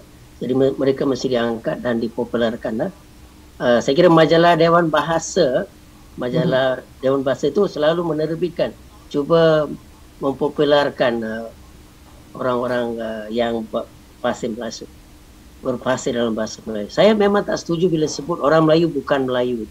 Kita hmm. rakyat Malaysia, kenapa orang Melayu bukan Melayu? Saya memang tak suka bila orang sebut bukan Melayu, orang Melayu. Kita rakyat Malaysia, kita orang Malaysia ni. Kenapa nak membeza-bezakan antara kita? Kita mesti ada pandangan itulah. Jadi uh, usaha majalah itu memang betul lah masalah itu. Kalau dia tiap kali ada seorang ikon itu dipopularkan di muka depan pun ada uh, tokoh itu ditunjukkan yang adalah orang Cina, orang Melayu, orang orang ada kacukan juga dima- dimasukkan mempo- mempopularkan lah, menjadikan mereka terkenal lah. Tapi tidak ramai, tidak ramai. Tapi nampak ada trend sekarang uh, ramai juga orang muda yang cuba mencuburi dalam penggunaan bahasa Melayu. Itu satu yang amat menggalakkan. Uh, mungkin kita kena memberi tumpuan kepada golongan muda. Memang kita mengharapkan golongan tua memang susah lah. Dah, mungkin dah terlanjur, tak boleh buat apa-apa. Mungkin Dr. Teo setuju lah. Kita lebih fokus pada orang muda yang uh, mereka pun, uh, saya nampak dari si penulisan pun, uh, penulis-penulis muda pun sudah banyak muncul lah. Dan ada satu ketika saya memang ber, tidak puas hati dengan Dewan Bahasa kerana mereka memberi keutamaan kepada belia-belia uh, ataupun penulis-penulis muda sehingga tulisan saya tidak disiarkan. Jadi saya membuat. Kenapa? Kata mereka nak memberi keutamaan kepada penulis-penulis yang muda. Ha? Veteran boleh tunggu, tak apalah. Saya dah memberi sumbangan lebih 40 tahun lebih saya dah memberi sumbangan. Jadi saya pun terimalah hakikat. Biarlah orang muda datang mencukuri dan mengutarakan pelbagai isu dalam. Jadi mereka pun menulis dengan baik. Jadi itu satu cara yang baik. Memang kita nak melahirkan banyak ikon lah, yang uh, bahasa Melayu. Mungkin itulah masa depan kita bergantung pada orang muda seperti saudara Hanafi ya yang banyak yeah. cakap dalam banyak medan saya selalu jumpa dia dalam awani ya berjumpa uh-huh. saya selalu mengikuti perbincangan ya. jadi kita harapkanlah kita akan akan melahirkan ramai lagi kaum yang dalam semua bidang tak kira mereka mesti guru ataupun yang ada kena mengenai pendidikan macam Dr. Malar itu adalah doktor seorang doktor perubatan juga Ya. Ha, jadi macam itulah kita harapkan. Ada juga Dewan Bahasa mempopularkan orang yang ber- berada di luar negara tapi mereka berfasih bahasa Melayu. Jadi itulah kita cari. ya. Jadi kita Ya. kita cuba lupakan jangan lihat uh, bangsa Malaysia. Bang, kita mesti ingat sebagai bangsa Malaysia. Jangan orang Melayu orang bukan Melayu, orang Cina bukan Cina. Itu Mhm. satu tidak uh, secocok dengan perpaduan yang kita nak anjurkan buat. Jadi bagi saya saya tak setuju bila orang kata orang Melayu orang bukan Melayu. Kita rakyat Malaysia. Tidak Ya. tidak ada orang macam di England ada ke orang orang In- Inggeris, orang non Inggeris tak pernah cakap. Ya. Mereka semua dianggap sebagai orang British, ya. Hmm. Rakyat British. Jadi itu pandangan itu perlu diubah lah saya kira. Mhm. Pandangan itu boleh diubah dan luahan daripada Dr. Nantisan tadi itu uh, juga bagi satu cabaran yang tinggi juga pada Encik Hafi dan juga rakan-rakan seangkatan yang lain kerana tiba masanya anak muda bangkit eh untuk meneruskan perjuangan ini. Jadi sebelum kita berehat seketika ini Cik Hafi boleh tak kita beri sedikitlah uh, perkongsian dan juga ujaran uh, dan juga ulasan sedikit daripada apa yang telah disebut oleh Prof dan juga Dr. Nantisan sebentar tadi peranan orang muda uh, dalam hal ini dalam mengangkat bahasa Melayu. Baik, terima kasih banyak-banyak. Ada satu peribahasa Arab ataupun bukan peribahasa, ada satu kata-kata hikmah yang pernah disebut oleh Dr. Umar Al-Tilmisani, Mursyidul Am Ikhwanul Muslimin dalam bahasa Arab ni berbunyi Al-Hikmatu Syuyukh fi Hamasati Syabab. Maksudnya adalah dalam membina negara ni kena ada dua kombinasi. Uh, Prof dan Dr. Nathan pertama adalah kebijaksanaan hikmah orang-orang lama. Uh, orang lama, orang dewasa yang telah pun banyak menabur jasa menabur bakti seperti Prof dan Dr. Nathan dan satu lagi semangat orang muda. Sebab sebab orang muda ni kadang-kadang bergelojak saja kan. Bergelojak saja semangat berapi-api kan sehingga ada disebut the angry young man. Orang muda yang berang zaman tahun 70-an dulu kan kebangkitan-kebangkitan tapi sebenarnya kalau kita lihat dalam saksi sejarah Indonesia sebagai contoh dimerdekakan digerakkan oleh para-para pemuda Soekarno, Bung Hatta, Tan Malaka, Malaysia, Tuan Abdul Rahman, Tuan Razak ini sebenarnya bermula mereka ni ketika mereka ni muda. Sebab muda ni adalah uh, sifat yang menurut apa namanya kekayaan lah. Uh, kekayaan terbesar yang ada pada pada diri para pemuda. Jadi memang betul sekarang ni kalau kita lihat memang kalau nak apa namanya bergantung kepada naratif yang sebelum ni saja penggunaan bahasa Melayu saya rasa kita tak boleh nak pertahankan lagi dah boleh nak pertahankan tu maksudnya dalam dalam dalam dalam erti kata bahawa kita telah bereksperimen lama dah menggunakan metod yang lama. Percubaan-percubaan kononnya nak buat sekolah perpaduan, sekolah wawasan dan sebagainya. Jadi sebenarnya tuan-tuan kalau kita cakap tentang kemampuan politik, political will, bayangkanlah kalau ada kemampuan contohnya. Memilih apa men- menjenamakan satu aliran perdana semata-mata sahaja. Sekolah vernacular kita memberi apa kalau ada kemampuan untuk kita nak hapuskan sebagai contoh memanglah ideal tapi bukan mudah semudah itu Berapa ramai yang menggunakan ini sebagai menjaja sebagai sebagai modal politik tapi tak berhasil juga pada pada pada waktunya. Sebelum ni nak haramkan dongzong sebagai contoh kepimpinan yang sebelum ini. Dan bila dapat kuasa tak dapat juga sebab apa? Sebab bukan mudah untuk kompromikan perkara. Tapi kalau mampu, eloklah kita akan capai satu negara yang ideal dengan satu satu apa satu uh, satu pembentukan nation state yang negara bangsa. Tapi Mhm. untuk untuk itu uh, sebagai cabaran yang yang apa yang bukan mudah. Jadi kita bergeraklah secara bottom to up daripada daripada bawah ni pada gerakan-gerakan masa ni peringkat orang muda ni. Jadi memang kita sering nampak tentang perkara ini dan kita kita sering uh, mengakui tentang peranan itu. Uh, ialah cuma cuma macam saya katakan tadi lah uh, nak membentuk nilai nilai macam cool dan nilai sikap macam youngster kepada bahasa Melayu ni dia tak seperti English lah. English ni dia Ya. mungkin dah adalah bahasa yang telah pun mengalami beratus ratusan tahun kan. Macam bahasa Melayu ni, bahasa Melayu moden ni baru tak sampai 100 tahun dianggap sebagai bahasa Melayu moden kan. Jadi perlu ada masa yang agak sedikit panjang dan juga usaha-usaha yang uh, tidak akan berhenti lah. Hmm. Dan patternnya tu kepada kami. Patternnya tu kepada kami tapi dalam masa yang sama kita menganggap yang uh, senior ni sebagai mentor yang boleh Ya, kita dapatkan pasti. dekat. Dan saya pun lihat tadi pandangan-pandangan daripada Dr. Nathan yang Prof memang betul-betul spot on lah tentang apa realiti yang berlaku Benar. dan kita bicarakan juga dengan nada yang uh, santun tetapi perkara itu benar dan juga pahit dan kita kena terima dan kita kena ambil tindakan lah. Saya sendiri, saya, saya sendiri walaupun duduk di MBM ni saya banyak terlibat dalam uh, international platform tapi Hmm. saya tetap tidak pernah bercerai ataupun tidak pernah melepaskan perhatian dan juga uh, kesungguhan saya sebab saya percaya bahawa uh, kalau macam saya baca uh, Prof. Syari Mak Zain dan beberapa tulisan-tulisan sarjana-sarjana lain yang sangat committed dalam indigenous knowledge ni keilmuan bumi ni mereka ni antara orang yang sangat-sangat committed lah untuk Ya. mengangkat sains terus uh, daripada bahasa sendiri jadi saya rasa saya subscribe ataupun saya Mhm. melanggan idea wacana itu jadi Mhm. akan saya teruskanlah di peringkat uh, dan juga akan aku Ya, teruskan perjuangan Cikgu Harapi dan juga uh, rakan-rakan sekatan yang lain uh, kerana uh, matlamat kita pada pagi ini dia sesuai juga dengan apa peribahasa-peribahasa yang diangkat oleh DPP. Uh, tembak yang beralamat tujuan yang bermaksud. Mana segala sesuatu yang diucapkan atau dikerjakan ada tujuan dan juga maksudnya dan kuat lilit kerana simpulnya kekuatan kumpulan terletak pada ahlinya yang bersatu padu. Ini perjuangan yang besar juga Encik Muhammad Nafi juga rakan yang lain dan yang lain-lain juga yang senior kita anggap sebagai satu seorang uh, individu yang dijadikan ikon dan juga mentor untuk kita teruskan perjuangan kita.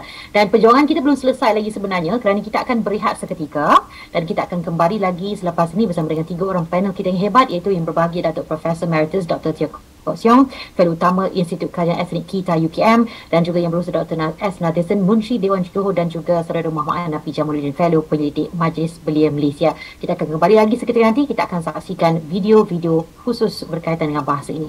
Kita rehat seketika. Saya telah merasai bagaimana baiknya hidup di tempat orang. Hujan emas di negeri orang, hujan batu di negeri saya. Ada terlebih baik di negeri saya, Pak Malau. Perkara yang sudah-sudah janganlah diulang kaji lagi, Dama. Tetapi ku harap terimalah tawaranku ini. Tidak. Kajang Pak Malau, kajang belipat, kajang saya mengkuang layu. Dagang Pak Malau, dagang bertempat. Dagang saya musafir lalu. Saya pergi Pak Malau.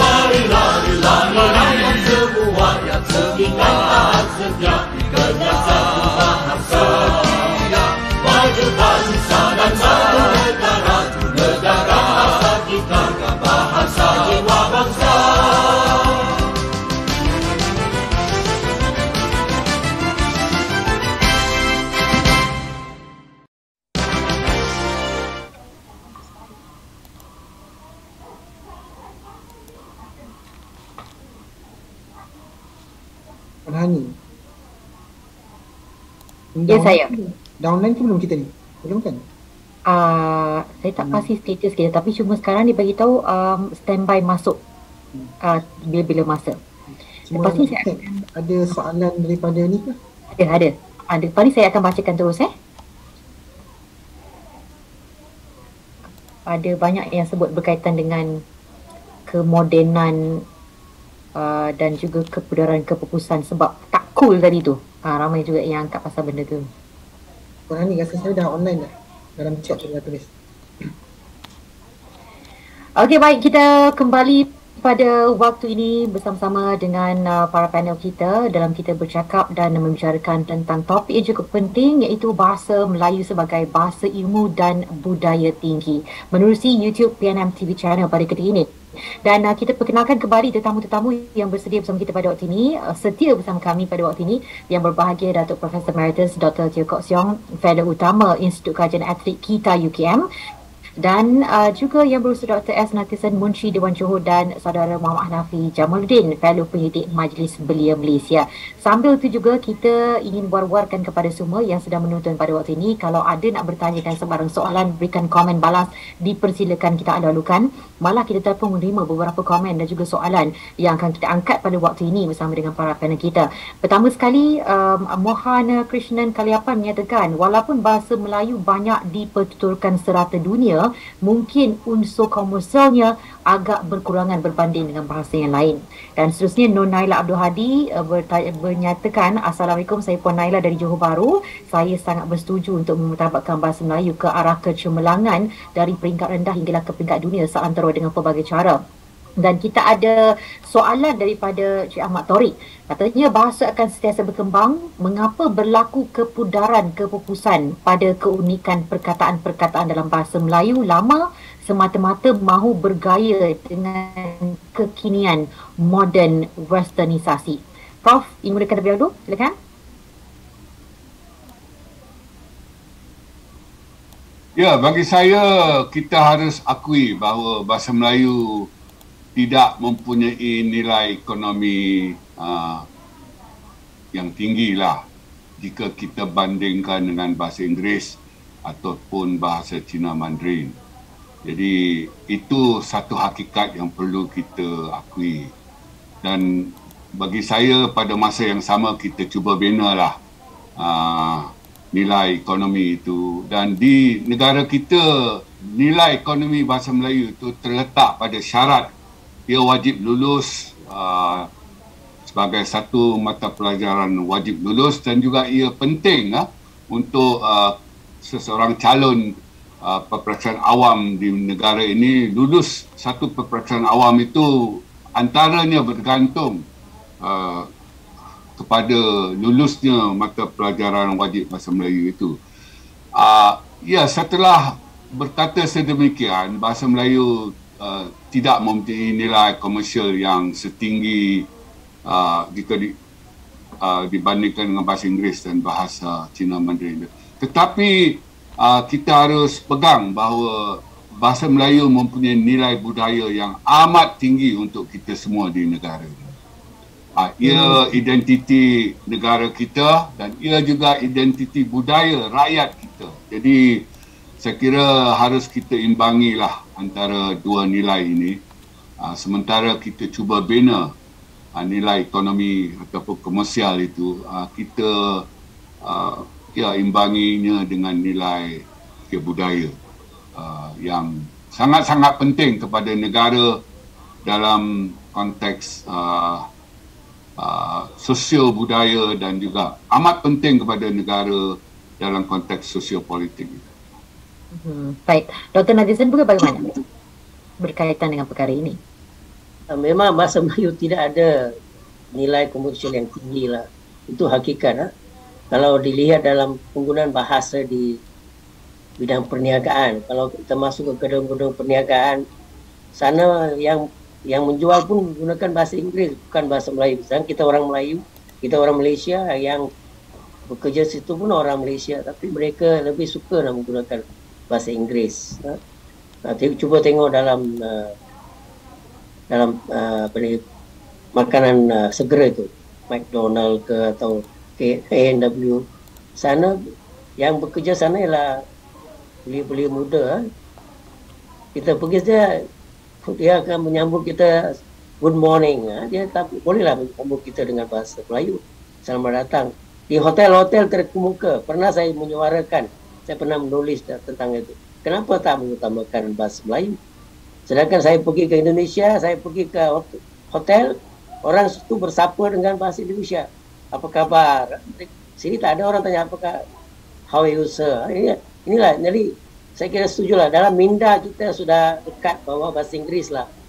Yang uh, yang meninggikan kita memberi taraf yang lebih tinggi. Demikian juga dalam perniagaan itu. Kita akui lah memang dari dunia perniagaan bahasa Inggeris luas digunakan. Jadi orang lebih mengutamakan bahasa Inggeris uh, dalam perniagaan lah. itu hakikat. Mungkin masa akan datang perkara ini mungkin akan berubah. Kalau di Eropah misalnya mereka masih gunakan bahasa tempatan. Kalau kita mengikuti rombongan lawatan ha, ke negara-negara lain. Kita terpaksa menggunakan uh, khidmat pembantu pelancong. Mereka lah yang berbual untuk mengadakan interaksi dengan masyarakat di sana. Kerana mereka tak cakap dalam bahasa Inggeris walaupun mereka boleh cakap bahasa Inggeris seperti orang Perancis mereka boleh cakap bahasa Inggeris tapi tak mau cakap mereka akan berbahasa Perancis menunjukkan begitu uh, setia kepada bahasa kebangsaan mereka jadi di sini kita kita dah uh, apa ni menyerah diri. Kita cakap dalam bahasa Inggeris senang ya senang kita itu. Ha? Jadi ini kena berubah mungkin mengambil masa. Harap golongan muda seperti saudara Nabi akan membuat perubahan arus perubahan ini. Kita akan hmm. uh, nilai komersial ini perlu diberikan kepada uh, dunia perdagangan di negara kita.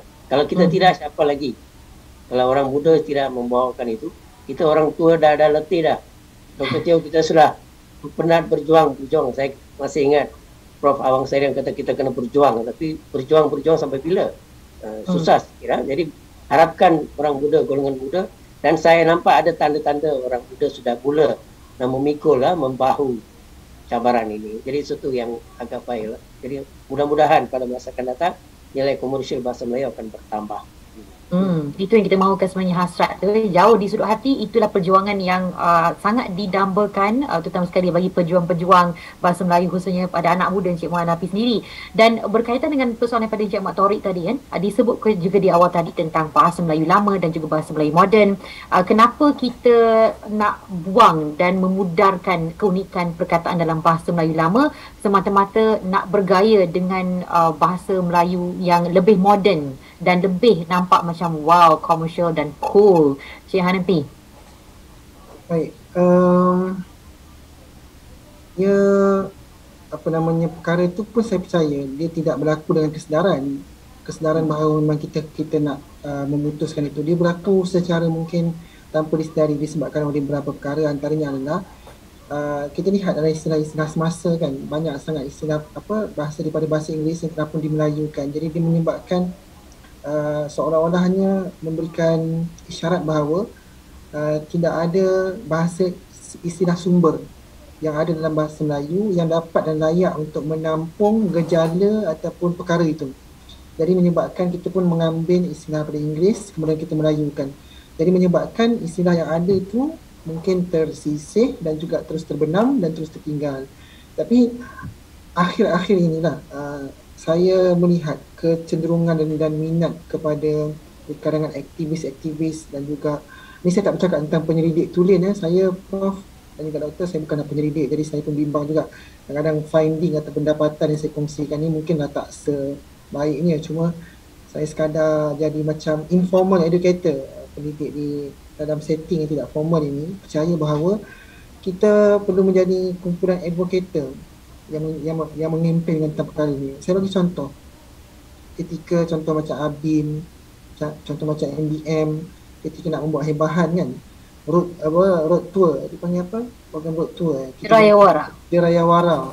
Ya. Walaupun awalnya adalah dia walaupun nampak janggal pada pada awalnya, tapi bila kita sering melaziminya, dia akan jadi seperti biasa je.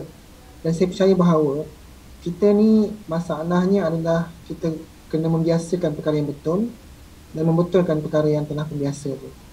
Jadi nak kena dilazimkan ataupun nak kena dibudayakan. Budaya dalam kajian sains sosial adalah sehimpunan kebiasaan-kebiasaan yang digun, dia apa diamalkan secara bertimpa-timpa ataupun ber, bertompok-tompok maka akan jadi budaya. Jadi sebenarnya mencipta budaya ni dia bukan macam dia bukan biological yang tak boleh diubah. Lelaki nak ubah kepada perempuan. Tak boleh sebab dia bukannya dia dia adalah uh, sifat biologi. Tapi kalau sosial ni dia dia dia, dia, dia boleh dibentuk. Budaya contohnya. Kenapa hari ni orang tak betul-betul bahasa Melayu dengan baik? Itu masalah budaya bukan masalah biologi. Jadi ianya boleh dibentuk dengan kita menggerakkan. Jadi saya rasa perlulah contohnya kan. Prof dengan doktor saya rasa kalau kat Indonesia mereka ni ada sumpah pemuda, ikrar hmm. pemuda.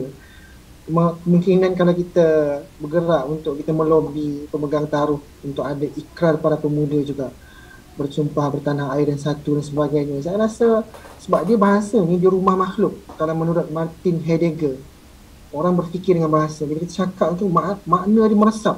Kami bersumpah bertanah air satu, bertanah. Itu ber, memang saya bila ke Indonesia ada Dr. Saya macam doktor uh, gembira bila disapa kan. Uh, selamat siang Pak, selamat datang dan sebagainya. Saya boleh nyanyi lagu kebangsaan mereka. Wow, luar biasa sebab kita faham maknanya. Indonesia Indonesia Raya merdeka merdeka bangkitlah Indonesia Raya. Jadi dia macam sebab kita faham, kita berfikir dengan bahasa kalau orang nak, nak, nak apa yang kalau orang mengkaji falsafah bahasa ni kan. Bahasa tu rumah makhluk. Itu sebab ada ada banyak istilah-istilah contoh iman dalam bahasa Arab tak boleh terjemahkan sebagai faith. F A I T H. Tak boleh terjemahkan sebagai percaya. Tak tak tidak mengam, tidak apa tidak bertepatan penuh maknanya tu. Ya. Itu sebab uh, saya, saya saya percaya bahawa bahasa ni adalah uh, ada kekuatan ni. Ada dan banyak lagi istilah-istilah yang contohnya uh, usaha-usaha daripada pihak DPP kan buat uh, boost kepada reruai. Ini sebenarnya mengembirakan pribumi. Saya bukan Sarawak tapi saya percaya akan mengembirakan pribumi Sarawak sebagai contoh. Bahasa mereka diangkat menjadi bahasa di peringkat nasional. Jadi sebenarnya kekayaan suku-suku bangsa yang ada di sini sebenarnya kita boleh gelintar lagi, gelintar lagi untuk kita nak menampung makna dan tak semestinya kita ambil bahasa Inggeris kita terjemahkan dia adalah literal. Terjemahan dia langsung. Kadang-kadang tak boleh terjemahan langsung istilah Inggeris ni. Saya cuba juga untuk terjemahan langsung macam infinitive complex ni lah saya rasa tak tepat kalau kata rendah diri rendah diri ni konotasi dia positif. Dalam konteks penutur bahasa Melayu orang yang apa hormat uh, orang yang humble kan. Ya. tapi infinitive complex ni bukan rendah diri dia kekacauan. Kekacauan kompleks lah. Jadi tak boleh terjemahkan literal. Dia kena cari istilah lain. Saya bagi contoh ketika Profesor Nak- Said Hussein Alatas menemukan istilah oblomorphism daripada gejala dalam tradisi masyarakat Rusia. Ketika dia nak ambil istilah tu dia kata istilah ni tepat dalam konteks anak Melayu bebal dan dia ambil istilah bebal ni dan dia gunakan tambah ism dia bebalism bebalisma jadi ia menjadi satu apa satu percubaan yang saintis sosial lah yang yang, yang tepat lah untuk merakamkan itu. Dan kemudian diikuti lah oleh angkatan kemudian tololis tololisma pandirisma untuk menunjukkan. Jadi sebenarnya kita kena ada uh, kumpulan-kumpulan yang berani untuk mengajukan begitu. Evergreen sebagai contoh kan. Malar apa? Sentiasa hijau. Saya rasa bahasa Melayu lagi sedap. Malar segar. Dan banyak lagi gentleman gentleman. Budiman. Budiman. Yeah. so saya rasa makna dia tu lagi grip lah. Lagi menangkap. Experience pengalaman. Alam dia perkataan alami. Alam tu tanda kita lalui jadi memang uh, saya rasa uh, saya sendirilah uh, kalau ada kekuatan uh, menggerakkan mobilisasi sosial termasuk dalam konteks ini dengan lebih apa dengan lebih uh, radikal lah. Termasuk dalam boleh ikrar para pemuda ke terhadap Hmm. bahasa mendirikan tonggak-tonggak uh, dalam dalam dalam apa dalam dunia menghadapi dunia contemporary ni sebab Malaysia menjelang 2050 data penduduk Malaysia dianggarkan 45 juta. 45 juta ni salah satu daripada impian negara-negara kuasa besar untuk menjadi kuasa besar ekonomi ni. Salah satunya penduduk ni kena ramai. Tapi kalau bahasanya masih lagi compang-camping kan? Susah lah. Orang putih tak perlu. Jangan orang putih pelajar. Ini Hmm. satu hal yang uh, mengharukan lah. Pelajar asing. Belajar 20 tahun di Malaysia tak boleh cakap Melayu saya kata ya Allah sedihnya lah. Sebenarnya kita sedih kepada dia tau dan kepada kita sebenarnya dia tak dapat belajar local wisdom kearifan yang ada pada bahasa tu. Hanya dia menggunakan bahasa Inggeris dengan selesa. Ya. sebab apa sebab English used widely. Dekat Mhm. kota-kota sebagainya. Ia pada saya tak ada bukanlah perkara yang tak baik. Cuma janggal bagi sebuah negara berdaulat dan merdeka yang uh, memiliki akar budayanya sendiri tapi masih lagi berkompaskan uh, bahasa asing. Jadi saya rasa benda tu semua orang yang waras akan mengiyakan tentang tu dan banyak lagi lah uh, contohnya yang ketara juga lah masuk ke hotel-hotel sebelum ni lah kita dah 2 tahun tak pernah masuk hotel sebab sorry pandemik ni. Masuk tu lagu-lagu balada jazz. Lagu-lagu yang saya rasa kenapa tak keroncong lagu-lagu yang kalau Indonesia hebat. Uh, mereka mengalunkan muzik muzik tradisional dia. Sebab apa? Kalau kalau kita belajar tentang pelancongan orang datang ke satu tempat kalau dia boleh jumpa di negara dia no point dia datang. Dia boleh menemui di London di Paris juga. Makanan yang dihidangkan ke bentuk muzik yang dipaparkan ke pakaian yang dipertontonkan ke kenapa tidak? Kita pakai batik ke contohnya untuk pelayan-pelayan hotel dan sebagainya. Tapi inilah uh, kita akan kembali tentang siapakah yang berkuasa untuk menggerakkan. Ni macam saya kata dah kita tak ada kuasa top tak ada Mhm. kuasa bottom ni bawah ni yang boleh melobi dan itulah saya rasa di peringkat MEM ni memang Baik. banyaklah kita cuba untuk uh, mengusahakan terima kasih InsyaAllah. Baik, jadi kita ada lagi persoalan lain pada rakan-rakan kita yang sedang menonton pada waktu ini. Uh, saya nak gabungkan soalan ini dengan soalan yang saya nak ajukan ini uh, pada Prof dan juga Dr. Nathan dan juga Cik Hanafi. Mana ni daripada Nick Esa 80. Okey, katanya Prof, Dr. dan juga Cik Hanafi bagaimana hendak menjadikan rakyat Malaysia lebih menggunakan bahasa kebangsaan dalam pengucapan terbuka memandangkan ramai yang menggunakan bahasa bercampur aduk, bahasa Melayu dan juga bahasa Inggeris. Dan adakah perkembangan pesat teknologi maklum ICT ini juga akan menyebabkan kepentingan bahasa Melayu semakin terhakis serta menyebabkan berlakunya kepincangan dari segi penggunaan bahasa Melayu khususnya dalam kalangan generasi muda kita ini yang sudah terbiasa dengan bahasa yang bercampur aduk ini. Prof, silakan. Uh, ya, untuk saya, saya kira dalam hal ini sudah banyak kali orang bertanya dan sudah banyak kali saya pun jawab. Bagi saya, lingkungan penggunaan itu penting. Hmm. Maknanya kita harus tahu uh, lingkungan itu sama ada formal ataupun tidak formal. Uh, maknanya kalau lingkungan itu tidak formal, maka penggunaan bahasa pun boleh berbentuk yang tidak formal seperti yang wujud sekarang dalam media sosial itu kan uh, ejaan pun diringkaskan ayat pun tak apa-apa itulah sifat bahasa yang tidak formal dan kalau lingkungannya formal sudah tentu ada keperluan kita menggunakan bahasa yang berperaturan dari segi ejaannya, tata bahasanya, sebutannya dan sebagainya. Jadi bagi saya tak perlu sangatlah kita risaukan tentang uh, hal ini. Kalau kita dapat mengenal pasti uh, yang mana lingkungan formal, yang mana lingkungan tidak formal. Jadi kalau kita dah dapat pastikan, uh, tak ada masalah lah kalau untuk uh, menulis karangan di sekolah, sudah tentu tak boleh kita uh, gunakan ejaan yang singkat-singkat. Maknanya kita perlu eja perkataan tidak itu. Tak boleh ditulis dengan satu huruf X saja.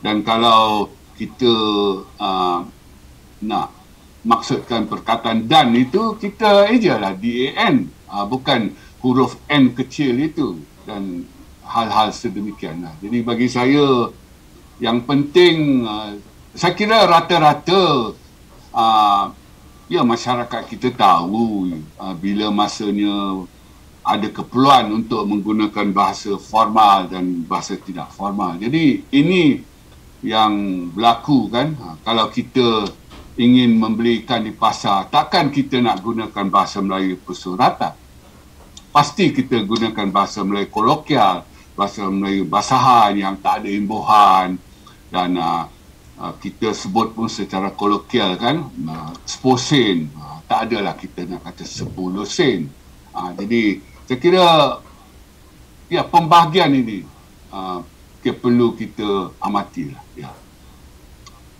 Okey, baik. Dr. Nafizan berapa mana? Uh, saya memang bersetuju lah dari aspek sosio-linguistik seperti yang disarankan oleh Dr. Tio. Uh. Memang itulah peraturan. Dalam, dalam berbahasa ada dua situasi penggunaan. Satu situasi tidak formal, satu situasi yang formal. Yang tidak formal itu memang dalam lisan banyak digunakan situasi tidak formal.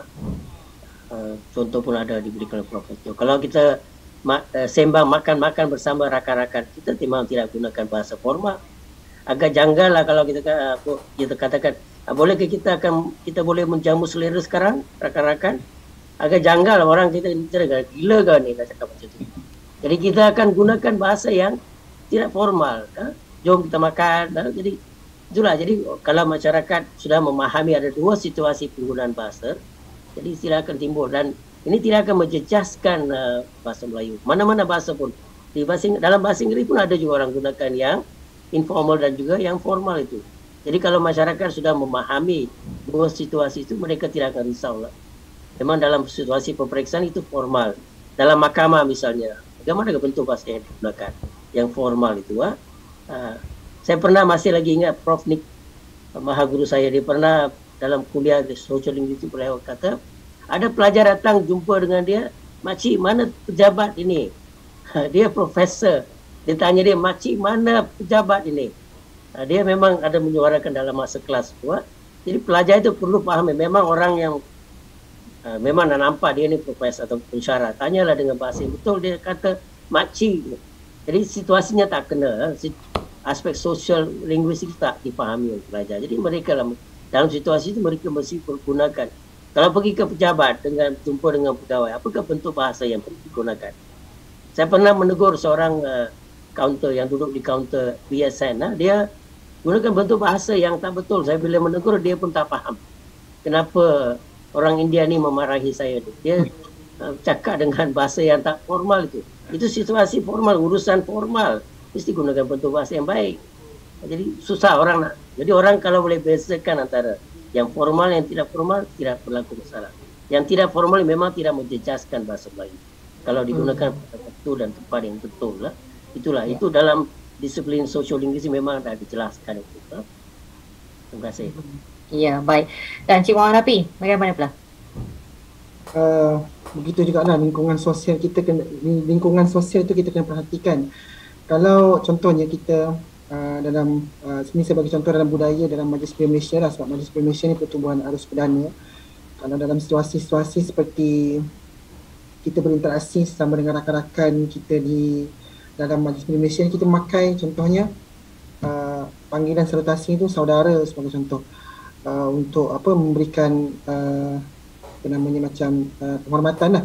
Tapi kalau dalam situasi yang di luar daripada itu biasanya bro sebagai contoh. Tapi sebenarnya kataan bro ni pun saya rasa dah terlalu sangat uh, saya tak pernah nak panggil orang bro walaupun saya orang muda.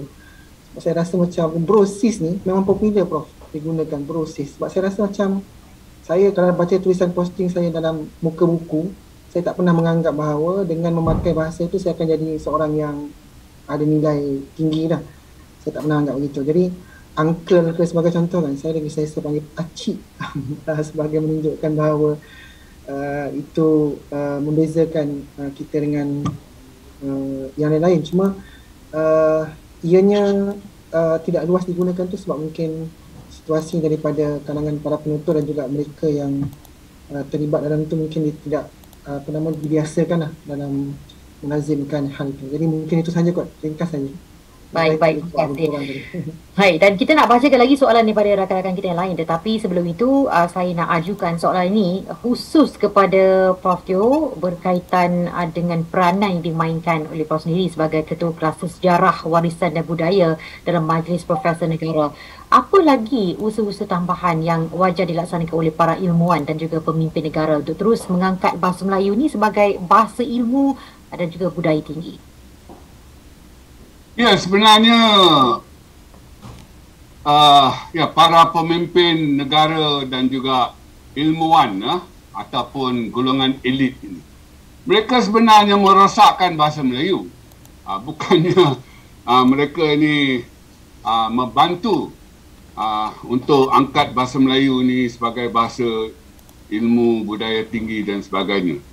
Ya sebagai contoh uh, elit Melayu yang berpendidikan Inggeris. Ha, mereka sudah tentu bercakap dalam bahasa Inggeris pada kebanyakan masa dan apabila ada keperluan mereka bercakap dalam bahasa Melayu, mereka akan terjemahkan saja uh, ungkapan bahasa Inggeris itu ke dalam bahasa Melayu. Sebagai contoh, kalau mereka bercakap dalam bahasa Inggeris, uh, the, uh, we need a political collaboration. Jadi kalau diminta bercakap dalam bahasa, kita memerlukan kolaborasi politik. Cukup senang kan? Dan bagi elit uh, Melayu yang berpendidikan Arab Timur Tengah, mereka pun sama juga. Parti A, uh, Parti Islam A perlu bergabung dengan Parti Islam B, maka mereka kata uh, ada keperluan tahaluf siasi. Uh, kalau uh, sesetengahnya akan kata al-tahluf al-siasi. Tak cukup Arabnya ditambah al. Jadi mereka sebenarnya merosakkan bahasa Melayu. Dan uh, untuk yang sekolah Arab semua ni, uh, mereka uh, menggantikan perkataan Melayu yang sudah mantap. Lasnah perpaduan. Mengapa perlu lasnah sedangkan bahasa Melayu ada perkataan jawatan kuasa? Dan untuk yang bahasa Inggeris ini pula, mereka pun uh, yang berpendidikan bahasa Inggeris pun samalah uh, di IPT ataupun IPTS, IPT lah yang menggunakan bahasa Melayu. Uh, ya, kursus ini durasinya tiga tahun. Mengapa perlu durasi? Perkataan tempoh ada kan? Uh, jadi ini pun sama dengan para pemimpin kita. Uh, saya ingin berkongsi satu kisah benar. Saya pernah diminta oleh seorang menteri Melayu untuk menyediakan ucapan bagi beliau. Jadi saya sanggup dah. Jadi saya selalu berpegang kepada martabat bahasa Melayu itu juga perlu mengambil kira aspek ketulenannya. Maknanya saya akan cuba menggunakan bentuk-bentuk asal dan asli Melayu ni. Uh, saya akan cuba. Jadi saya bagi tiga contoh. Dalam ucapan beliau itu saya gunakan perkataan Melayu cendekiawan untuk merujuk kepada orang bijak pandai. Ha, menteri tak nak. Minta ditukar yang kepada bentuk bahasa Inggeris intellectual. Ha, uh, dalam ucapan tak sebut pun intelektual. Ha, sebut intellectual. Saya guna perkataan Melayu asal. Frasarana untuk merujuk kepada kemudahan-kemudahan asal diminta tukar kepada infrastruktur tapi disebutnya infrastruktur. Saya guna perkataan landasan bila tengok-tengok oh, ini perkataan premis lagi baik. Jadi sebenarnya uh, para pemimpin negara dan juga ilmuwan ini mereka uh, merosakkan bahasa Melayu ini dan uh, ya adanya sikap kebergantungan budaya apa-apa yang ada pada budaya lain itu lebih baik daripada yang ada dalam uh, bahasa kita. Dan ini berlaku di kementerian pun. Uh, dan untuk hari sukan negara pada tahun ini adanya apa virtual run 2021 hmm. mengapa perlu virtual run? Patutnya larian maya lah. Hmm. larian maya 2021 tapi tak ada pun versi bahasa Melayu ni tak ada hanya virtual run 2021 dan ada slogan lagi towards sporting nation mengapa perlu sampai ke tahap itu ke arah negara sihat, ke arah negara bersukan. Kan? Uh, dan saya kira sebelum ini ada rancangan okay, Fit Malaysia. Mengapa perlu Fit Malaysia? Malaysia sihat, Malaysia cergas. Jadi saya kira soalan Hani tadi itu, apa la, apa lagi usaha-usaha tambahan memang tak ada lah usaha tambahan. Mereka uh, merosakkan bahasa Melayu ada. Sekali terima kasih. Okey, baik. Jadi itu dia kenyataan yang pedas tapi itulah dia realitinya. Tapi dalam masa yang sama juga ya, um, kita agak sedih juga apabila ada yang menyatakan dan juga meramalkan sesuatu berkaitan dengan uh, ke wujudan bahasa Melayu itu akan pudar lama kelamaan. Kerana baru-baru ini ada sarjana Singapura meramalkan pada tahun 2065 bahasa Melayu akan diajar menggunakan bahasa Inggeris di negara itu. Jadi kita nak mohon pandangan daripada Dr. Nathan sebagai munshi Dewan Johor, jiran terdekat Ha, dan bagaimana sebenarnya nasib uh, masa depan bahasa Melayu berdasarkan jangkaan dan juga ramalan ini? Uh, kalau ikut perlembagaan, bahasa kebangsaan Singapura adalah bahasa Melayu. Uh, tapi mereka menggunakan bahasa rasmi, bahasa Inggeris, bahasa Tamil, bahasa Mandarin dan juga bahasa Melayu. Jadi saya sudah menghubungi beberapa orang rakan saya di Singapura. Saya dimaklumkan inilah satu cadangan dalam kajian sarjana, seorang sarjana. Dan penyelia beliau adalah bukan orang Melayu. Jadi ini cuma satu saranan. Eh? Kita boleh mengajarkan bahasa Melayu menggunakan bahasa Inggeris. Ini saranan saja. Ini bukan pendirian uh, kerajaan Singapura ataupun Kementerian Pendidikan Singapura. Bukan itu. Uh. Jadi rata-rata ramai juga tidak setuju dengan pandangan tersebut. Jadi hmm. saya kira bagaimana bahasa boleh diajarkan menggunakan bahasa lain. Bahasa itu ada jiwa. Ada roh dalam itu. Macam mana kita nak ajarkan bahasa Melayu menggunakan bahasa Inggeris? Memang tak kena lah. Kalau dari segi pedagogi pun kita nampak bahasa Inggeris mesti diajarkan menggunakan bahasa Inggeris. Bahasa Melayu mesti diajarkan menggunakan bahasa Melayu. Jadi macam mana saya tidak boleh membayangkan bagaimana kita boleh mengajar bahasa bahasa Melayu menggunakan bahasa Inggeris. Memang hmm. itu salah satu kaedah, kaedah terjemahan, nah, translation method yang digunakan. Itu dalam situasi yang tertentu saja. Kalau nak benar-benar nak mendalami satu bahasa, bahasa itu ada pindahan. Macam mana pindahan yang boleh disebarkan kalau kita gunakan bahasa lain? Mustahil lah. Jadi mengikut pandangan uh, sarjana yang saya hubung itu dia kata ini satu pandangan saja lagipun penyelia itu pun uh, bukan orang Melayu dia tidak memahami jiwa bahasa Melayu uh, jadi suatu dia cadang ini cadangan saja untuk okay. tesis kedokterannya mungkin luluslah hmm. sana diluluskan saja tapi dari segi hmm. hakikatnya memang tak boleh memang tak boleh dilaksanakan perkara itu saya kira Prof. Hmm. Tio pun menganggap setuju juga perkara ini ini, ah. ini satu yang tak, tak betul lah ini memang tak akan berjaya kalau dilaksanakan memang tak berjaya. Orang Singapura waras. Mereka tidak akan menerima keadaan ini. Macam mana kita mempelajari bahasa dengan? Walaupun Singapura penggunaan bahasa Melayu agak terhad. Mungkin uh, ini cadangan ini timbul kerana di, di Singapura rata-rata orang Melayu berbahasa Inggeris di rumah pun mereka berbahasa Inggeris. Bilangan yeah. orang yang menggunakan bahasa Melayu sudah berkurangan golongan muda-mudi. Mungkin itu andaian bagi penyelia itu memberi cadangan bersetuju dengan cadangan supaya ajarkan bahasa Melayu menggunakan bahasa Inggeris. Mungkin itulah tapi hakikatnya ini tidak boleh berlaku dan tidak boleh menjadi kenyataan ya. dari segi pedagogi pun tak boleh. Nah, itu mungkinlah uh, senario nya cadangan itu timbul. Ini agak yang rambang lah, tak pernah berlaku macam ini. Uh, menggunakan bahasa Inggeris untuk mengajarkan bahasa Melayu. Saya pun tak setuju dan sarjana yang saya hubungi pun kata mereka tak setuju. Di Universiti uh, Nanyang dan yang Nanyang Technological University Singapura di, di bawah itu adalah Institute for Education. Di situlah di, sar, sarjana itu mengemukakan tesis beliau itu. Ha. Jadi itu hmm. memang tidak akan menjadi kenyataan saya kira. Hmm. Ya, agak merisaukan juga ya bila ada uh, individu ataupun golongan tertentu yang mengeluarkan ide-ide yang seperti ini. Kerana apabila ada terkeluarnya ide itu, uh, pastinya ada maksud dan juga matlamatnya. Dan kita sebagai mereka yang memperjuangkan bahasa Melayu itu menjaganya dan uh, mengangkat ia sampai ke peringkat akhir nanti uh, perlu melakukan sesuatu dan berjuang dan apatah lagi kita berada dalam keluarga Malaysia dan uh, kita nak tahu juga apa sebenarnya signifikan konsep keluarga Malaysia dengan perjuangan melestarikan bahasa Melayu agar terus kekal dengan nilai-nilai indah dan juga estetika. Namun pada masa yang sama bersifat dinamik daripada perspektif saudara Hanafi sebagai orang muda. Baik, um, dia kita kena tinggalkan pertama uh, retorik ni tu tak boleh baca daripada sudut retorik uh, kita cuba lah, kita cuba tidak membaca ni daripada sudut uh, retorik uh, parti politik ia adalah sebuah dasar kerajaan.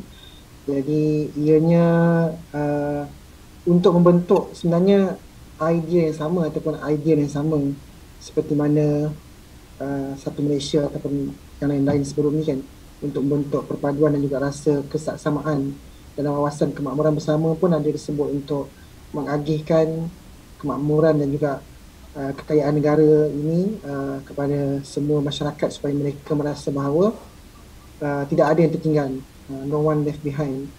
Jadi dalam konteks kita nak uh, dalam konteks keluarga Malaysia ni macam mana nak uh, kita nak tampilkan keindahan keindahan bahasa Melayu ni sebagai uh, sebagai tali pengikatnya ataupun sebagai uh, wadahnya tu memang memang cabaran lah. dia bukan semata-mata perubahan uh, retorik itu saja daripada uh, contohnya slogan sebelum ini kepada slogan sebelum ini.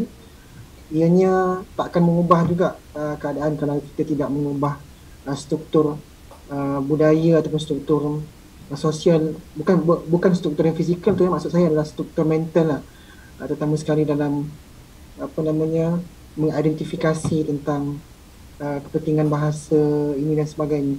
Jadi uh, ialah kita akan kembali baliklah kepada kepada wacana ataupun kepada permasalahan yang kita bangkitkan tadi lah tentang keadaan rasa kurang keyakinan diri, keadaan rasa tidak ada nilai komersial dan sebagainya itu memang tidak di, tidak ditangani ataupun tidak selesai pun hanya kepada perubahan uh, retorik. Cuma yang saya nampak adalah um, kita kita kita percaya bahawa daripada segi perlembagaan dan undang-undang dalam negara memang menjamin perkara 152 dan akta-akta yang lain itu memang jelas menjamin sebagainya. Dan banyak sebenarnya yang perkara yang dijamin oleh undang-undang. Tetapi daripada segi pengamalannya tidak begitu pun. Sebab ini, ini banyaklah negara-negara luar uh, yang kita boleh bagi yang yang kita boleh kemukakan contoh-contoh yang lain. Contoh kalau dekat Singapura tu kan bahasa bahasa kebangsaan mereka memang bahasa Melayu tapi sebenarnya bahasa Melayu hanya dah dituturkan hanya sekelintir kecil sahaja. Jadi itu kan realiti yang sangat benar daripada sudut perlembagaan. Begitu juga dalam konteks kita. Memang perlembagaan dan juga undang-undang memberikan jaminan uh, dan juga ke, keutamaan itu. Dan kita dapat saksikan bahasa Melayu ni uh, sebenarnya masih lagi dominan. Tapi di luar-luar lah. Di dalam, kalau kisahnya di dasar-dasar. Tapi di permukaan, permukaan, contohnya permukaan tu di pintu-pintu masuk, di tingkap-tingkap di muka-muka jendela yang memaparkan tentang Malaysia itu uh, dominasi bahasa Inggeris tu ataupun bahasa rojak tu atau bahasa Mandarin lah uh, yang menggunakan digunakan untuk ekonomi itu meluas digunakan. Sehingga kan menenggelamkan nampaknya soal jati diri itu tetapi ialah uh, saya rasa Datuk Ismail Sabri ni uh, Perdana Menteri kita bila dia uh, kemukakan tentang uh, keluarga Malaysia ni memang ada disentuh dua klausa. 28, 29, uh, 30 tak salah saya ke 28, 29 tentang peranan orang muda dan akan mendengar pandangan orang muda dan berikan perhatian termasuklah uh, kita bercadang sebelum ni kumpulan penasihat anak muda berkepakaran khas kepada Perdana Menteri Malaysia MBM yang menajai ataupun yang me, menaja maksudnya yang memberikan uh, usul itulah. Dan saya rasa mungkin kita akan masuk melalui itu untuk kita nak melobi supaya nilai dan kepentingan bahasa Melayu sebagai bahasa pemersatu unifying factor tu tetap diberikan keutamaan bukan sekadar dalam maksud saya dalam acara-acara lah. Acara-acara dah banyak lah seremoni uh-huh. ni. Maknanya nak kena pastikan ada metod yang lebih besar. Saya, saya berikan contoh begini ya. Dan ini, ini contoh yang sedikit pragmatic ataupun workable orang putih kata. Orang, orang, orang Inggeris kata. DBP bila berlaku isu semasa cepat saja laju keluar peribahasa. Dia akan keluar dalam bentuk infografik yang memberikan gambaran terhadap situasi semasa tu. Tak kira yeah. situasi semasa tu politik apa ke. Dan ini bayangkan ini membentuk apa? Membentuk reaksi dan juga gelombang dalam media sosial. Jadi saya rasa saya puji kaedah ni. Yang ini saya rasa kalau perlu kita kena wujudkan contohnya macam pasukan perang. Perang perang perang sosial media ni kan. Maknanya bila timbul timbul satu isu atau bila DPP mem- mem- memajukan satu istilah ke akan ada pasukan-pasukan yang akan terus membentuk uh, pandangan Hmm. massa ni. Kalau ada kekuatan itu, dia akan lebih sifatnya macam saya sebut workable. Bukan sekadar macam buat buat acara-acara ni penting. Saya tak menafikan tapi kita dah naratif tu dah lama kita lihat. Cuma dampak dia tu masih sederhana. Kali ni kalau ada unit unit saraf tu lah infantry tu. Terima kasih. Baik. Ya. Baik, jadi di penghujungnya ni uh, kita harus mengangkat peranan yang harus dimainkan oleh semua pihak khususnya peranan agensi kerajaan, uh, perpustakaan, syarikat kooperatif swasta, NGO termasuk juga media dalam memertabatkan bahasa kebangsaan. Jadi apa yang perlu dilakukan dalam kita mengangkat perjuangan ini menjadikan bahasa Melayu sebagai bahasa ilmu dan juga budaya tinggi dan dalam masa yang sama saya nak bawakan juga persoalan yang diangkat oleh uh, The Mohan Krishnan Kaliapan yang mengatakan adakah baik kiranya kita wujudkan bangsa Melayu yang bangsa Malaysia yang sebenar seperti bangsa Indonesia di Indonesia di mana bahasa Melayu dijadikan tunjang perhubungan bangsa Malaysia bukan sekadar perhiasan atau untuk persatuan politik semata-mata seperti yang berlaku sekarang. Jadi uh, memohon juga pandangan balas daripada para panel kita dalam masa yang sama merangkumkan peranan yang harus dimainkan oleh semua pihak terutama sekali bagi agensi-agensi yang terbabit. Ya, jadi kita mulakan terlebih dahulu dengan Profesor Datuk Teo. Ya, bercakap tentang uh, peranan agensi kerajaan dan lain-lain. Saya kira uh, dalam memartabatkan bahasa Melayu sebagai bahasa ilmu dan budaya tinggi dan sebagainya, ia harus bermula di sektor awam. Ia harus bermula di agensi-agensi kerajaan. Dan dalam hal ini, ada pekeliling perkhidmatan bilangan 1 tahun 2020 uh, dan pekeliling itu adalah berkenaan dengan pemerkasaan penggunaan bahasa kebangsaan dalam perkhidmatan awam dan uh, di situ jelas sekali lah peranan uh, sektor awam dalam menggunakan bahasa Melayu yang baik dan betul iaitu dari segi mutunya uh, menggunakan bahasa Melayu seluas mungkin dari segi kuantitinya dan ditambah uh, menggunakan bahasa Melayu yang sopan sifatnya.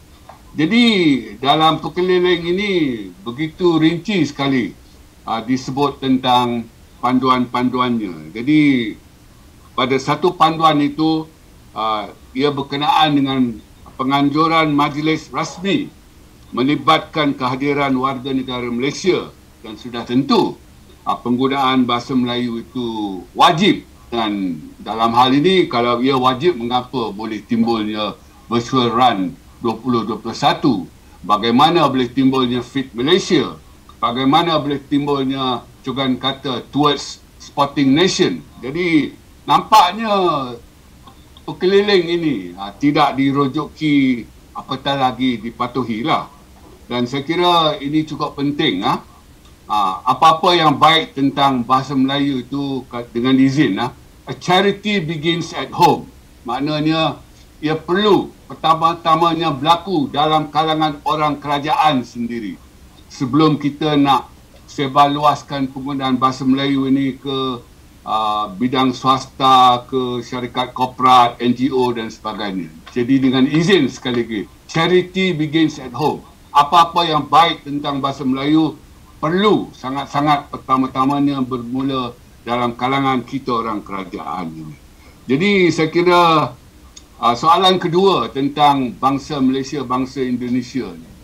Uh, saya kira sudah banyak tahun dah konsep bangsa Malaysia ni diangkat pertama kali diangkat pada tahun 1990 ha melalui gagasan uh, wawasan 2020 ia antara satu daripada sembilan cabaran itu sampai hari ini pun saya kira usahakan wajah bangsa Malaysia itu bayang-bayang pun tak ada. Jadi uh, tak.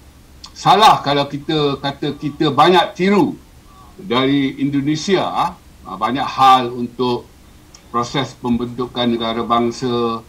Kita tiru uh, Pancasila mereka jadi rukun negara kita. Kita juga tiru nama bahasa Malaysia. Mereka bagi nama bahasa Indonesia. Kita juga tiru nak wujudkan bangsa Malaysia, uh, mereka ada bangsa Indonesia. Tetapi kita lupa satu perkara asas bahawa formula yang digunakan pakai untuk membentuk manusia Malaysia itu tak sama dengan formula yang digunakan pakai untuk membentuk manusia Indonesia. Kita guna pakai formula integrasi sedangkan mereka pakai formula asimilasi. Jadi dalam hal integrasi ini ah, kita di Malaysia ini membenarkan mereka yang bukan asal untuk terus hidup sebagai bukan asal. Tetapi apabila petua asimilasi digunakan, mereka yang bukan asal tak boleh lagi terus hidup sebagai bukan asal khususnya dalam kehidupan nasional. Jadi saya kira dalam banyak hal kita buat perbandingan, ah, kita lupa bahawa petuanya tak sama. Itu formulanya tak sama. Jadi apa-apa yang ada di Malaysia hari ini saya kira kita tuai apa yang kita tanam lah. Kita tanam integrasi maka hasilannya outcome-nya ialah outcome integrasi lah. Jadi kalau kita nak bandingkan kita dengan Indonesia tak boleh sebab mereka uh, menggunakan formula asimilasi iaitu mereka yang bukan asal. Tidak boleh terus hidup sebagai bukan asal. Walaupun uh, khususnya lah dalam kehidupan nasional. Kita di Malaysia kita benarkan. Sebagai contoh orang Cina masih boleh terus uh, mengadakan sekolah uh, dalam bahasa ibunda mereka. Dan sekolah itu kita semua bagi nama sekolah vernacular. Tetapi nama rasminya oleh kerajaan ialah sekolah kebangsaan sekolah negara tu sekolah jenis kebangsaan jadi saya kira uh, perlu sangat-sangat kita uh, ya ingatlah bahawa formula kita tak sama. Jadi bangsa Malaysia tak wujud-wujud lagi sampai hari ini dan mungkin tak dapat uh, wujud pun. Yang wujud sekarang ialah uh, apa-apa yang ada sekarang lah hasil daripada integrasi. Walaupun integrasi itu kelihatan ringan sekali lah jika dibandingkan dengan asimilasi. Tetapi masih kita dapati ada kala-kalanya ketika-ketika ketikanya rakyat Malaysia yang masih belum bersedia untuk berintegrasi ke dalam struktur sosial Melayu terutamanya dalam ya hal bahasa Melayu inilah tidak mau belajar lebih daripada yang dikendaki oleh kerajaan. Baik. Terima kasih Prof. Dr. Natizen. Eh, sebagai rakyat Malaysia, kita perlu ada jati diri sebagai rakyat Malaysia. Saya pernah menegaskan perkara ini dalam uh, tulisan saya dan juga dalam uh, ucapan saya. Satu ialah kita mesti menerima bahasa Melayu sebagai bahasa ibunda kita. Walaupun kita ada bahasa ibunda macam saya, saya bahasa ibunda saya lah bahasa Tamil. Tapi saya mesti menerima hakikat bahawa ini bahasa Melayu lah bahasa ibunda negara kita. Bahasa ibunda yang kedua bagi saya. Adakah semua orang boleh menerima konsep ini? Semua orang menerima. Sebagai rakyat Malaysia, bahasa ibunda saya ialah bahasa Melayu. Nah, ini perlu. Jadi perlu ranjakan lah. Jadi banyak jati diri bahasa Melayu mestilah diterapkan. Nah, kita macam konsep sebagai bangsa Malaysia ni. Memang tak nampak, tidak ada ciri-ciri yang memperlihatkan bangsa Malaysia. Sebab itu saya tak setuju bila orang kata orang Melayu, orang bukan Melayu. Ini sudah memisahkan kita. Ada dua kelompok pula. Sedangkan kita rakyat Malaysia, kita uh, dinaungi di sebuah negara yang berdaulat. Kita masyarakat majmuk, kita dah terima hakikat itu. Kenapa nak memisah-misahkan? Ya. Dan bila orang Melayu pula ada memisahkan orang Minangkabau, orang apa, orang Batak, macam-macam. Kenapa? Kita mesti terima identiti sebagai satu bangsa, satu kaum, satu kelompok masyarakat yang mewarisi beberapa ciri di negara kita. Uh, seperti kata Prof. Tio, kita tak boleh menyamakan dengan Indonesia sejarah latar belakang Indonesia tidak sama dengan Malaysia. Uh, soal integrasi dengan evolusi ya ataupun uh, dia berbeza. Jadi kita uh, lebih menitipkan perpaduan. Jadi kita kena menerapkan isu seperti itu. Adakah rakyat kita menerima bahawa bahasa Malaysia bahasa Melayu ini sebagai bahasa ibunda kita? Kalau hakikat itu diterima, tidak ada masalah. Tidak tidak akan timbul beberapa polemik yang kita bincangkan itu. Ya. Terima itu sebagai kita rakyat Malaysia ini. Uh, tapi yang perkara yang menarik adalah kalau kita ke luar negara, identiti sebagai bangsa Malaysia ni nampak. Saya pernah pergi ke Australia, ada satu majlis diadakan di salah sebuah universiti saya jadi uh, lawatan kerja saya. Di sana mereka pelajar-pelajar Malaysia ni berkumpul dan merayakan hari kemerdekaan. Di situ tidak nampak Melayu ke Cina ke dia tak nampak. Mereka nampak sebagai bangsa Malaysia dan mereka menyanyikan lagu negaraku bersemangat pula. Dan satu yang kuih-kuih dihidangkan, kuih-kuih Melayu kuih-kuih yang dihidangkan. Situ nampak ciri-ciri bangsa Malaysia itu di luar negara. Tapi di sini belum lagi nampak macam itu. Jadi kita mesti ada satu anjakan paradigma. Kita mesti lihat bercakap sebagai bangsa Malaysia. Sebab tu macam tadi yang yeah. cakapkan bahasa Melayu kita bahasa Indonesia, kita bahasa Malaysia ataupun apa juga nama menjadi identiti bagi negara kita. Itu perlulah, ke arah itulah kita kena bergerak. Itu pun harapan saya pada beliau lah seperti saudara Nabi kita kita kena menggembeling tenaga mereka uh, persatuan belia semua menggerak, menggerakkan mereka ke arah itu. Karena orang tua memang sudah sudah sudah karat, susah nak berubah berombak. Uh, bilangan pun tak ramai lah yang nak memperjuangkan bahasa Melayu. Saya pun dah ada dah usia Prof. Prof. Tio pun setuju juga lah. Tak lama lagi kita sadar tak lagi. Jadi kita harapkan ini perubahan ini yang akan kita berlaku negara kita akan lebih maju akan terkenal di pasaran dunia sebagai bangsa Malaysia identiti nasional itu sebagai bangsa tak ada lagi memisah-misahkan jadi sebab itulah Perdana Menteri bawa usul keluarga Malaysia jauh lagi kita nak sampai ke Malaysia jadi kita kena usul ke arah itulah uh, terima kasih mm-hmm. baik Baik, Saudara Hanafi. Uh, dalam masa tiga minit.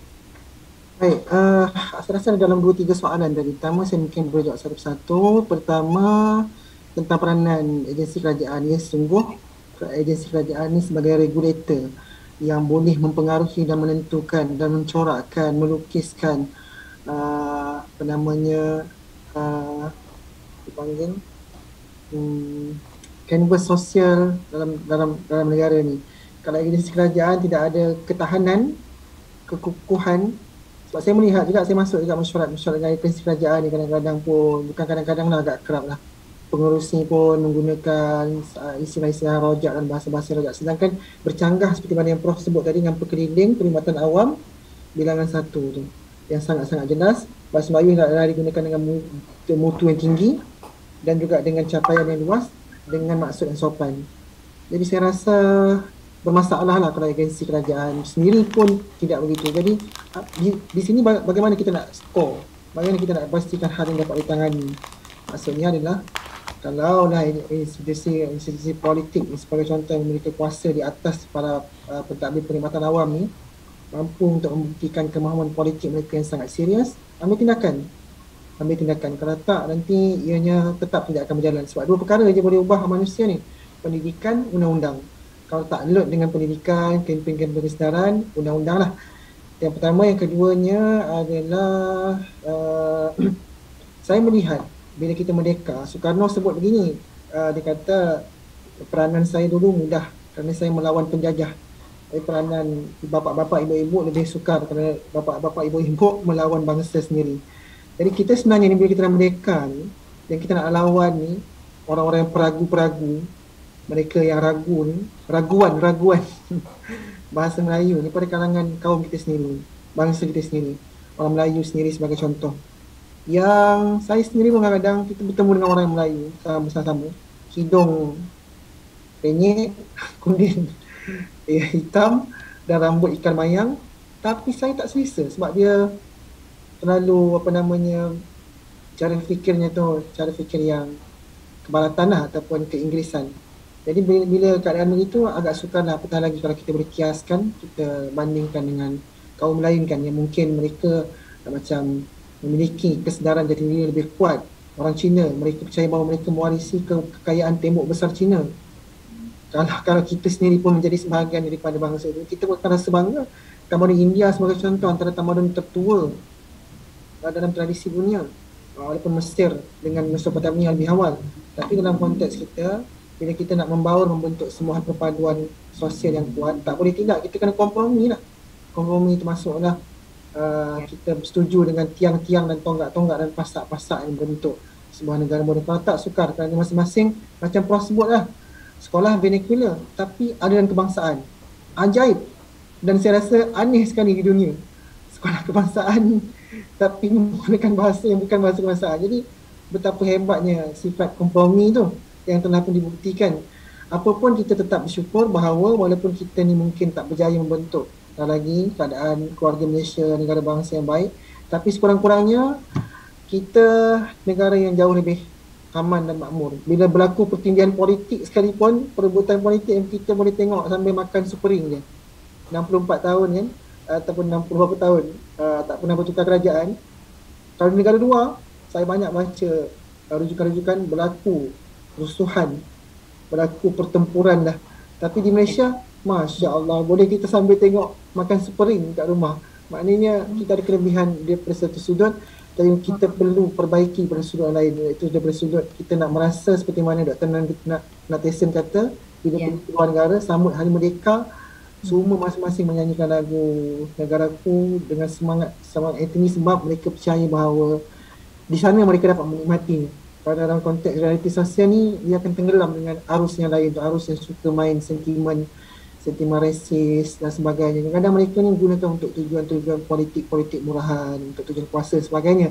Kemudian tak akhir sekali uh, kita sebagai kaum muda kita akan pastikan kita akan dapat membentuk keluarga Malaysia yang baik dengan dengan kita nak uh, memastikan tonggak-tonggak ini akan terus dipelihara. Terima kasih. Atas hadiran saya sekian. Ya, baik. Kami ucapkan banyak terima kasih kepada ketiga-tiga ahli panel kita yang dapat bersama-sama kita dalam uh, bicara bahasa Melayu sebagai bahasa ilmu dan budaya tinggi. Kerana apa yang kita cakapkan hari ini, kita perjuangkan hari ini sebenarnya bukan satu perkara yang biasa-biasa sahaja. Tetapi sebenarnya hakikat adalah wasiat. Kerana kalau kita lihat ketika menurunkan tanda tangan persetujuan pembentukan Perlembagaan Persekutuan Tanah Melayu pada 5 Ogos 1957, Raja-Raja Melayu telah menetapkan tujuh wasiat. Salah satu daripadanya menyentuh bahasa itu, kami tetapkan bahasa kebangsaan ialah bahasa Melayu.